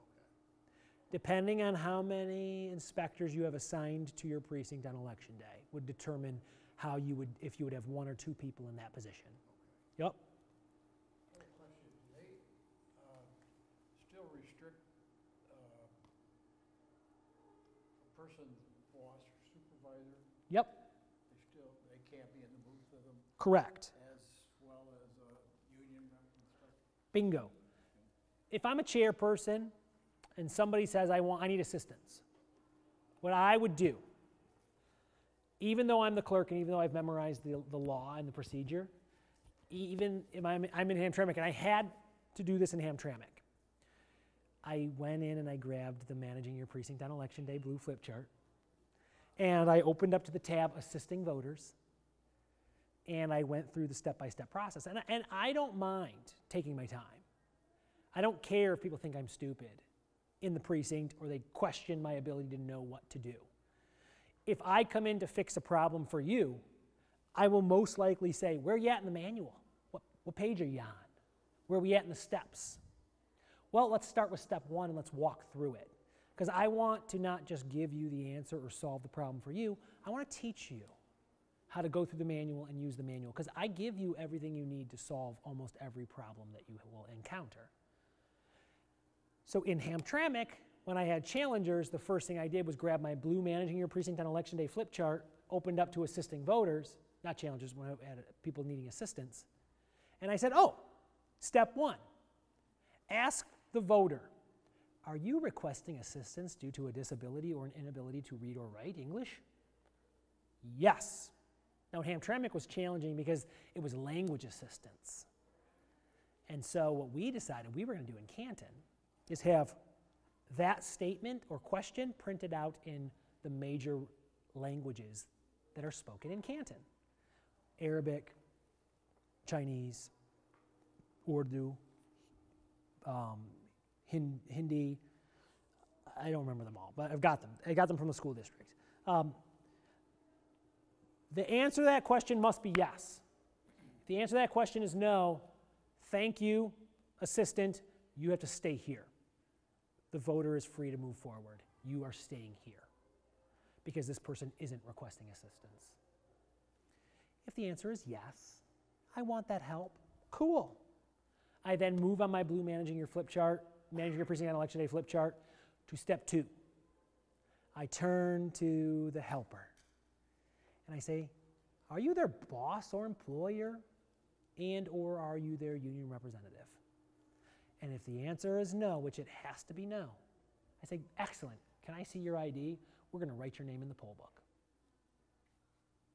And we write the name of the assistant in the poll book. Under the notes or whatever. Yeah. And then the two of them get to go to the booth and they can help with their ballot, as long as it's not their employer or union rep, and as long as the voter really wants help and it's not somebody who's coercing the voter. And we're going to look for cues to see if there's coercion. If there's coercion going on, You're going to do an ESR report and say, excellent, can you two stand to the side real quick and not say anything to them and say, we're going to, it'll be a couple minutes. And then you're going to put in an ESR report or you're going to call the police department and say, looks like a husband might be pressuring a wife on how to vote or vice versa. I don't know what's going on here. And an officer will come, ask them to step outside, figure out the facts and circumstances of what's going on, and we'll make sure that no one's being coerced to vote a certain way. That's how we would handle that. There's information about stub removal.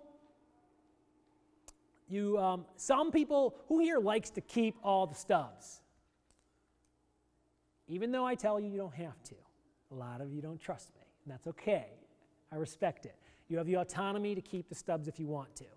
But when the stub is removed from the ballot, it does lack a legal purpose. Some people like to keep it for a separate internal audit process that they would do themselves.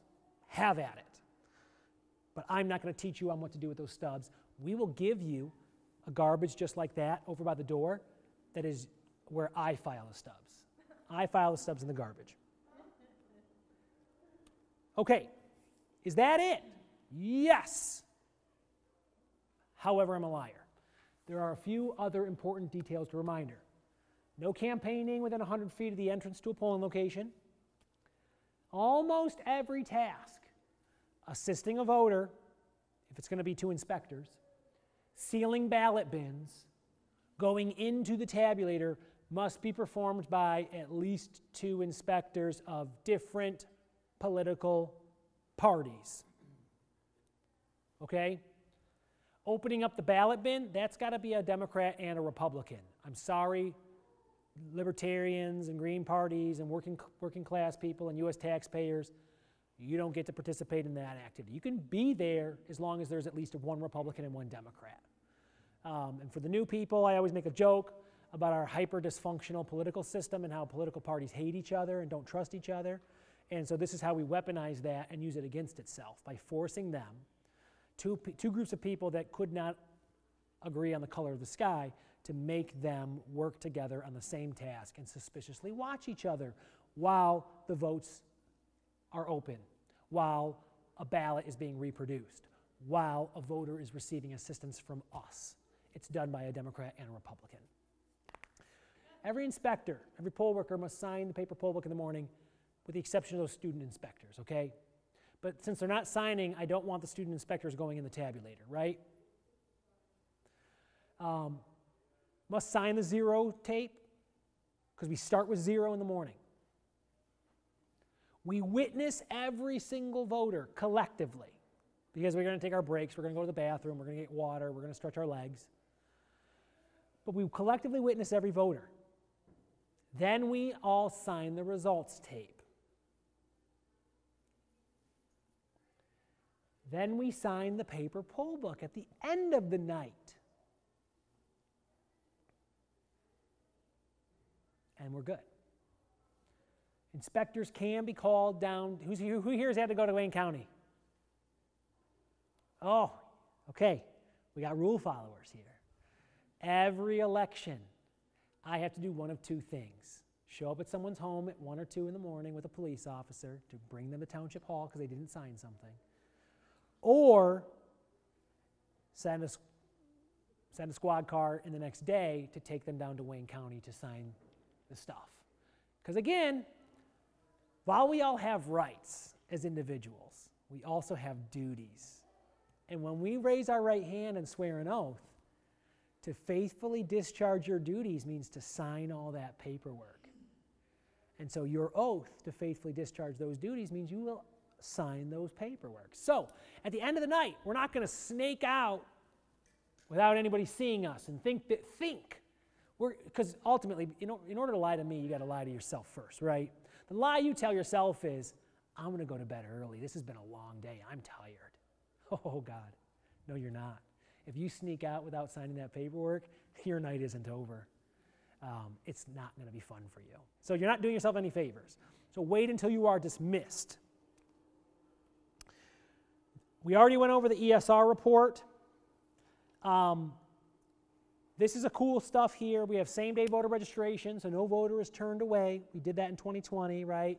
If somebody's not registered in the poll book anywhere, you're going to send them to the clerk's office. We're going to give them a ballot. What's this? Okay, we have a, a receiving board ticket, apparently, it looks like there, and I think that's the seventh time I've referenced it. This must be completed to, receive, to see the receiving board. It is the ultimate checklist. Have I mentioned this yet? Just wanted to make sure I've mentioned that receiving board ticket. It is required. Okay, um, and then, oh, Steve, you'll love this one. No more modeming results at the end of the night. This is where I love the conspiracy theorists because they really helped us on this one. Uh, we all know that this machine is not attached to the internet right now. It's not attached to the internet before the election, it's not attached to the internet during the election. But there's a brief period after the close of polls. And what do we know? We know that the votes are on the physical paper ballots, which get put in here. And you can't hack a paper ballot. Paper ballot's paper ballot. It's voted. It's done. It stands. Chain of custody. You indicated that you started with zero. You witnessed 400 people. There are 400 ballots inside of here. Those are the valid votes. They are records. The minute that stub comes off, they no longer belong to the voter. That's not my ballot anymore. It's been tabulated. It belongs to the people of the state of Michigan. It's their property now. It's subject to FOIA. So instead of going on the internet and making up weird random claims about voting machines being attached to the internet and what that could do to election results, I might just submit a FOIA and actually physically look at the 400 ballots in here and say, oh, wow, look at that. Michael Siegrist got 10 votes for clerk, 390 other people voted for the other guy because he's a bum. Just kidding. I like it myself. But um, that's consistent with the election results. My goodness. I just learned something by doing what we have been doing in our society for thousands of years, which is I take in information, then I form an opinion, as opposed to starting with an opinion first. That would be doing a little bit of research. But the physical ballots exist. You ensure chain of custody the entire time. But we're no longer modeming results at the end of the night because those are unofficial results anyway. Those aren't, the, those aren't who determines who gets elected. They were a pain in our butts. And that's the one period where these machines could be attached to some type of network after we have printed our reports, after we have closed the polls. So at the end of the night, we don't have to do that. So there'll be no modem in here anymore for you. So yay, that makes it simpler at the end of the night. A lot of times those wouldn't transmit anyway. It was a pain. You'd be like, Where's, where are our precincts? One's come in. What's going on? Yada, yada. So it's the end of the night. You've done all of your stuff. You're following your checklist. You have kept the keys on your wrist, and so you don't have to walk around in the middle of your presentation wondering where you set them down. You've kept the keys on your wrist. You've kept custody of your keys. You're breaking down your precinct. Okay, 8 o'clock, right, rolls around. What do we know? If you're in line at 8 o'clock, but you haven't voted, do you get to vote? Yes. Yeah. If you walk in at 8.01, do you get to vote?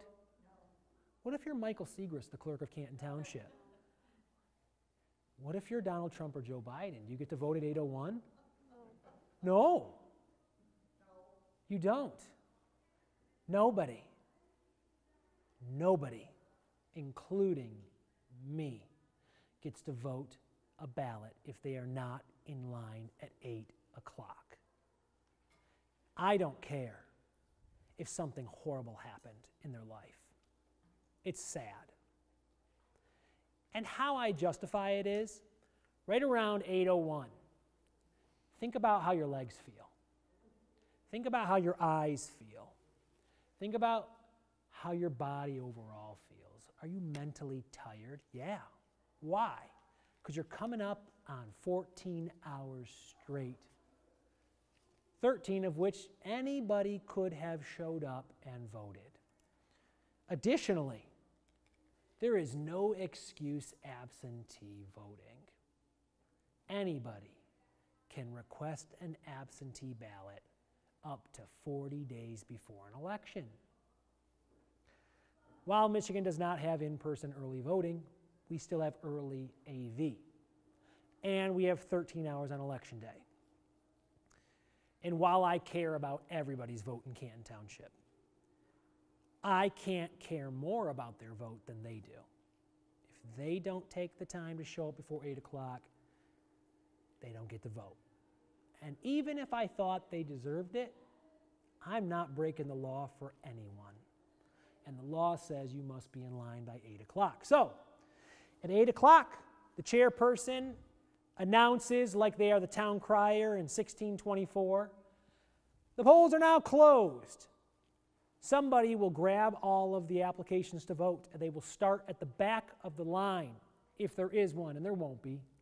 And they give every voter in line an application to vote, and then all applications to vote are put in the supply case.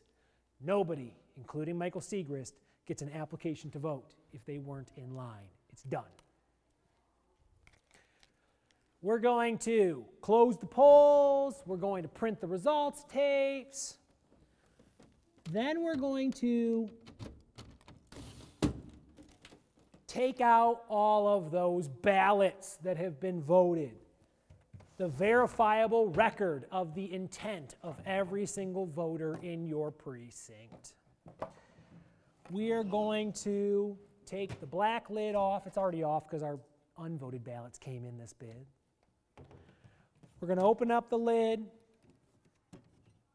Got this for Father's Day. It says, Ask me about my dad jokes. If you know, I've got a lot of them. I was primed to be a dad well before my kids were conceived. We're going to take all of our ballots out. This is important. We're going to place them all in the blue ballot bin. But our job isn't done. Because a good chair is on the receiving board checklist. Oh, that's eight. And on top of that, they are also using the final section of the manual, the purple section, the light at the end of the tunnel. Can I get a time check? What time is it? Woo! All right, let's speed it up. I can go through the detailed description of what to do, and I can begin to do the IKEA process. Shut down my tabulator. Print the results tapes. Have every inspector sign the results tapes. Close the polls, power down. I can clip the seal on the front once the power is down, I can remove the memory cards from the front of the tabulator, placing them in the red transfer container. I know they go in the red transfer container because it's highlighted in red on that page. I then will take the ballots out and put them in the blue ballot bin. I know they go in the blue ballot bin because it's written, highlighted in blue. We like to color code stuff. All those ballots are going to go in the blue ballot bin. And then when I turn to the next page, it's going to remind me to do a step that is often forgot. And we're not going to do this to Chief James Craig, who's running in the Republican primary for governor as a write in. There might be other write ins. We're going to make sure they get the valid votes they are legally entitled to. You have to go through the write ins. We're going to get those scissors or those tin snips. You have both of them, and they both can be used for this function. So if you don't have one or the other, you can use it for both. You're going to come in here, you're going to clip the seal that is keeping the write in compartment sealed shut. I would then return the scissors back to the supply case. You're going to open up this and all of your write in ballots are going to fall into the container. Making sure we have removed the general ballots first. Because if you commingle these ballots, your fellow precinct inspectors will never forgive you because you will not be leaving at 9 o'clock that night. You will have to examine all 400 or 500 ballots to determine which ones had write ins and then you will have to continue with the process we are going to go through. And that's a long process to visually inspect 400 ballots. Before um, tabulators and voting machines were invented in the 1890s, believe it or not, all elections were administered by hand tally. And so uh, you would have had to have closed the polls at 8 o'clock, and then you would have had to pull out all of the ballots. And then you guys would be writing down every contest on a spreadsheet and then tallying every vote that came in for each one, and then you would be certifying who won. Now we use the automatic Scantron system that is used in schools for grading tests. Um, because back then, no, there weren't a thousand people in a precinct. It just didn't, you know, there was like 50 people, and everyone knew each other. It wouldn't take that long. So, once we've got our write in ballots, we're going to take them to our table and pull them out. Some people will have thought they were clever, and they'll write Mickey Mouse. And that's a waste of their time and our time, but it's cute. We don't care about Mickey Mouse. What we're looking for are valid write ins. And I'm going to give you a list of valid write ins. And you're going to see people like James Craig's name written in the Republican primary, bubble in. And it might say James Craig, spelt correctly. You're going to open up your chairperson binder, pull out your poll book. You're going to make your way all the way to the back because we're at the end of the night to this beautiful spreadsheet. Write ins only. This is probably for write ins only, right? We're going to type in James, we're going to write in James Craig, spelt exactly how it is on our first write in ballot. We're going to write office governor, party Republican. And then we're going to put one hash mark, just like it's 1880. Then we're going to go to the next write in ballot. Let's say there's a write in vote for James Craig, but they put an E at the end of his name. Oh no, it's not the same. We're going to write it exactly how they spelt it on row two and put one hash mark. Third write in vote is spelt the exact same way as the first write in. Cool. We put a second hash mark in row one. What if they wrote Craig James? We got to write it Craig James and then put in one hash mark. What if they put in Chief Craig? We write in Chief Craig, one hash mark. Because the Board of Canvassers, they're going to decide which votes go to the candidate who has submitted as a write in. And we're only going to do that for valid write ins. If someone didn't file a write in, we are not doing that. Okay? Fair enough. At this point, do we have more than Craig that's filed? Huh?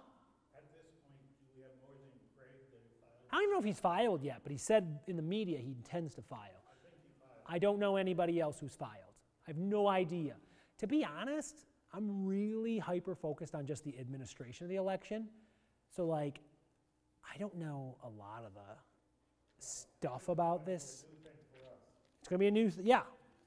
Okay, then once we're done with that process, those write in ballots can now be commingled with the other ballots. No big deal. All the ballots go in here. I close it in on itself like a drawbridge. I put the black lid on top. Who has heard the term unrecountable? In 2016, Jill Stein did not win, obviously, the presidential election in Michigan because she was a third party candidate. She didn't even come close, but she filed for a recount. I had just been elected clerk. I had been clerk for 14 days. I had to take all of our ballots in these containers, sealed by all of you people, down to Wayne County for a recount. Some communities could not participate in the recount because they couldn't ensure chain of custody, or they forgot to hit enter and there were more votes than voters in their precinct and they didn't write it in the poll book. So they had no excuse as to why they were off balance. or they did not seal their containers correctly. And those clerks got some pretty bad black eyes. They were called bad clerks. There were, believe it or not, conspiracy theories about what had happened, which is often happens these days. And I don't want to be one of those clerks. I don't want your work product to be improperly scrutinized. So the way we solve that is we put the black lid on top of the blue container. And we take one of these beautiful little seals, and one Republican and one Democrat are going to write that seal number on a ticket that is in my supply case. We're going to put it on here. I go from the bottom, not the top. And there's a reason why. And we're going to go up through the bottom hole, through the second hole, through the third hole with our beautiful certificate on there. We're going to zip, seal it on both ends so that nobody can slip anything in or take anything out. And it's going to stay that way until either or both this precinct has been recounted or it has been audited. But one of those two things is going to have to happen before I can break that seal. You're writing your initials, one Republican and one Democrat. Because what you're saying is, we started with zero. And just in our little corner of the world, Precinct 1 in Canton Township, Michigan, we all witnessed 400 voters. And we saw no fraud. Nothing weird. Well, you may probably saw some weird stuff, but nothing weird with the voting. We have the results. We all signed them. We have the physical ballots. We looked at the write ins. We put them in this container. And one Republican and one Democrat sealed it with this unbroken seal. And as long as I seal from the bottom, it won't get broken in transport. As long as this seal is unbroken and it is consistent with the seal number that is signed by one Republican and one Democrat, we have chain of custody. We have evidence if there's ever a legitimate election lawsuit that is brought forward that could question the tabulation of votes. A judge would use that as evidence. If there were ever any concerns about the machinery not tabulating correctly, this is your audit paper trail. And you've ensured chain of custody because you've sealed it. And that's what you give to me. And then we keep it under seal until it's been released. And it's not released until it's been recounted or audited, despite what you might hear on the internet. And then it gets certified by the state of Michigan. They notify us that it can be opened. We cut those seals. My staff takes those ballots in teams of two one Republican and one Democrat, if you're noticing a theme here. We put them in canvas bags, we seal them. We put them in the basement of Township Hall in a secure room that even the police department doesn't have access to, that is under camera. And we store them for 22 months in accordance with federal law because it is evidence. And in America, when you have charges, you have to provide evidence to back up your claims. And those would be subject to litigation that could occur over the next 22 months. They're also subject to FOIA. So if somebody wants to visually inspect those ballots because they believe something crazy happened, they would submit a FOIA. They would come in. We would open up the ballots. We would let them visually inspect the ballots and do their own tally. Then we would reseal them afterwards and store them for the remainder of the 22 month period. After the 22 month period, we shred the ballots in accordance with federal retention law. That's the rules. That's the chain of custody, and you play a vital role in that. You can be proud of that. I appreciate it. And that's kind of how that process works. That's the write-in process, that's sealing the ballot containers, which is on the last page, that's signing the paper poll book and writing those seal numbers down there. The third checklist you're going to have is the paper poll book itself. But my God, if you followed the instructions in, the, in this manual and you've done the receiving board ticket nine and you've checked off everything on the EPB, the paper poll book checklist, you should be received in two minutes. You're done. It's smooth sailing at the end of the night. Who has ever heard a stitch in time saves nine? That means by taking time now, I'm actually going to get, if I take a minute today, I'm going to get nine minutes down the line by doing something slow and right. We can't afford for you to move fast. If you move fast, you will go so slow. The Irish have a saying that says, more speed, less haste. By being less hasty, I move faster. Carpenters will say, measure twice, cut once. These are all things that say, address the voter in front of you, handle the issue in front of you, balance the precinct in front of you. Do not let stress, anxiety, fear about doing a good job, the, the, the presence of a challenger disrupt your internal peace. Be sincere, be, be, be, be um, just be, you know, ensure that you do that, right? Um, so there's stuff there about how to, how to close down the laptop for our EPB person. If I'm an EPB person, I'm going to pull this out, my poll book person. I'm going to run my reports, get, my, uh, get all that stuff, follow everything there in accordance. Looks like at the end of the night, there's something here. I don't know what that document is right there on that page, but there's something there. Final steps. And then there's another QR code for the ESR. We put it in the beginning we put it at the end. It's also located on the bottom of this sheet. There's the third location of the QR code. Once you've done an electronic support request, it's stored in your phone forever. Okay? We will be doing election lab demonstrations of the actual equipment in July. Those will include setting up the precinct, starting the VAT, uh, starting the tabulator, doing the zero report, um, the laptop, opening the polls, closing the polls, reminder of reports to be saved. This will be done at our election labs if you choose to come. Uh, they are optional. Uh, they will be helpful, and we will notify you when those dates are set. You have access to the two videos online, and you can view those between now and election day. You have the actual manuals themselves. That concludes the basic certification training. Pay attention to the notices that may come out uh, for your assignments.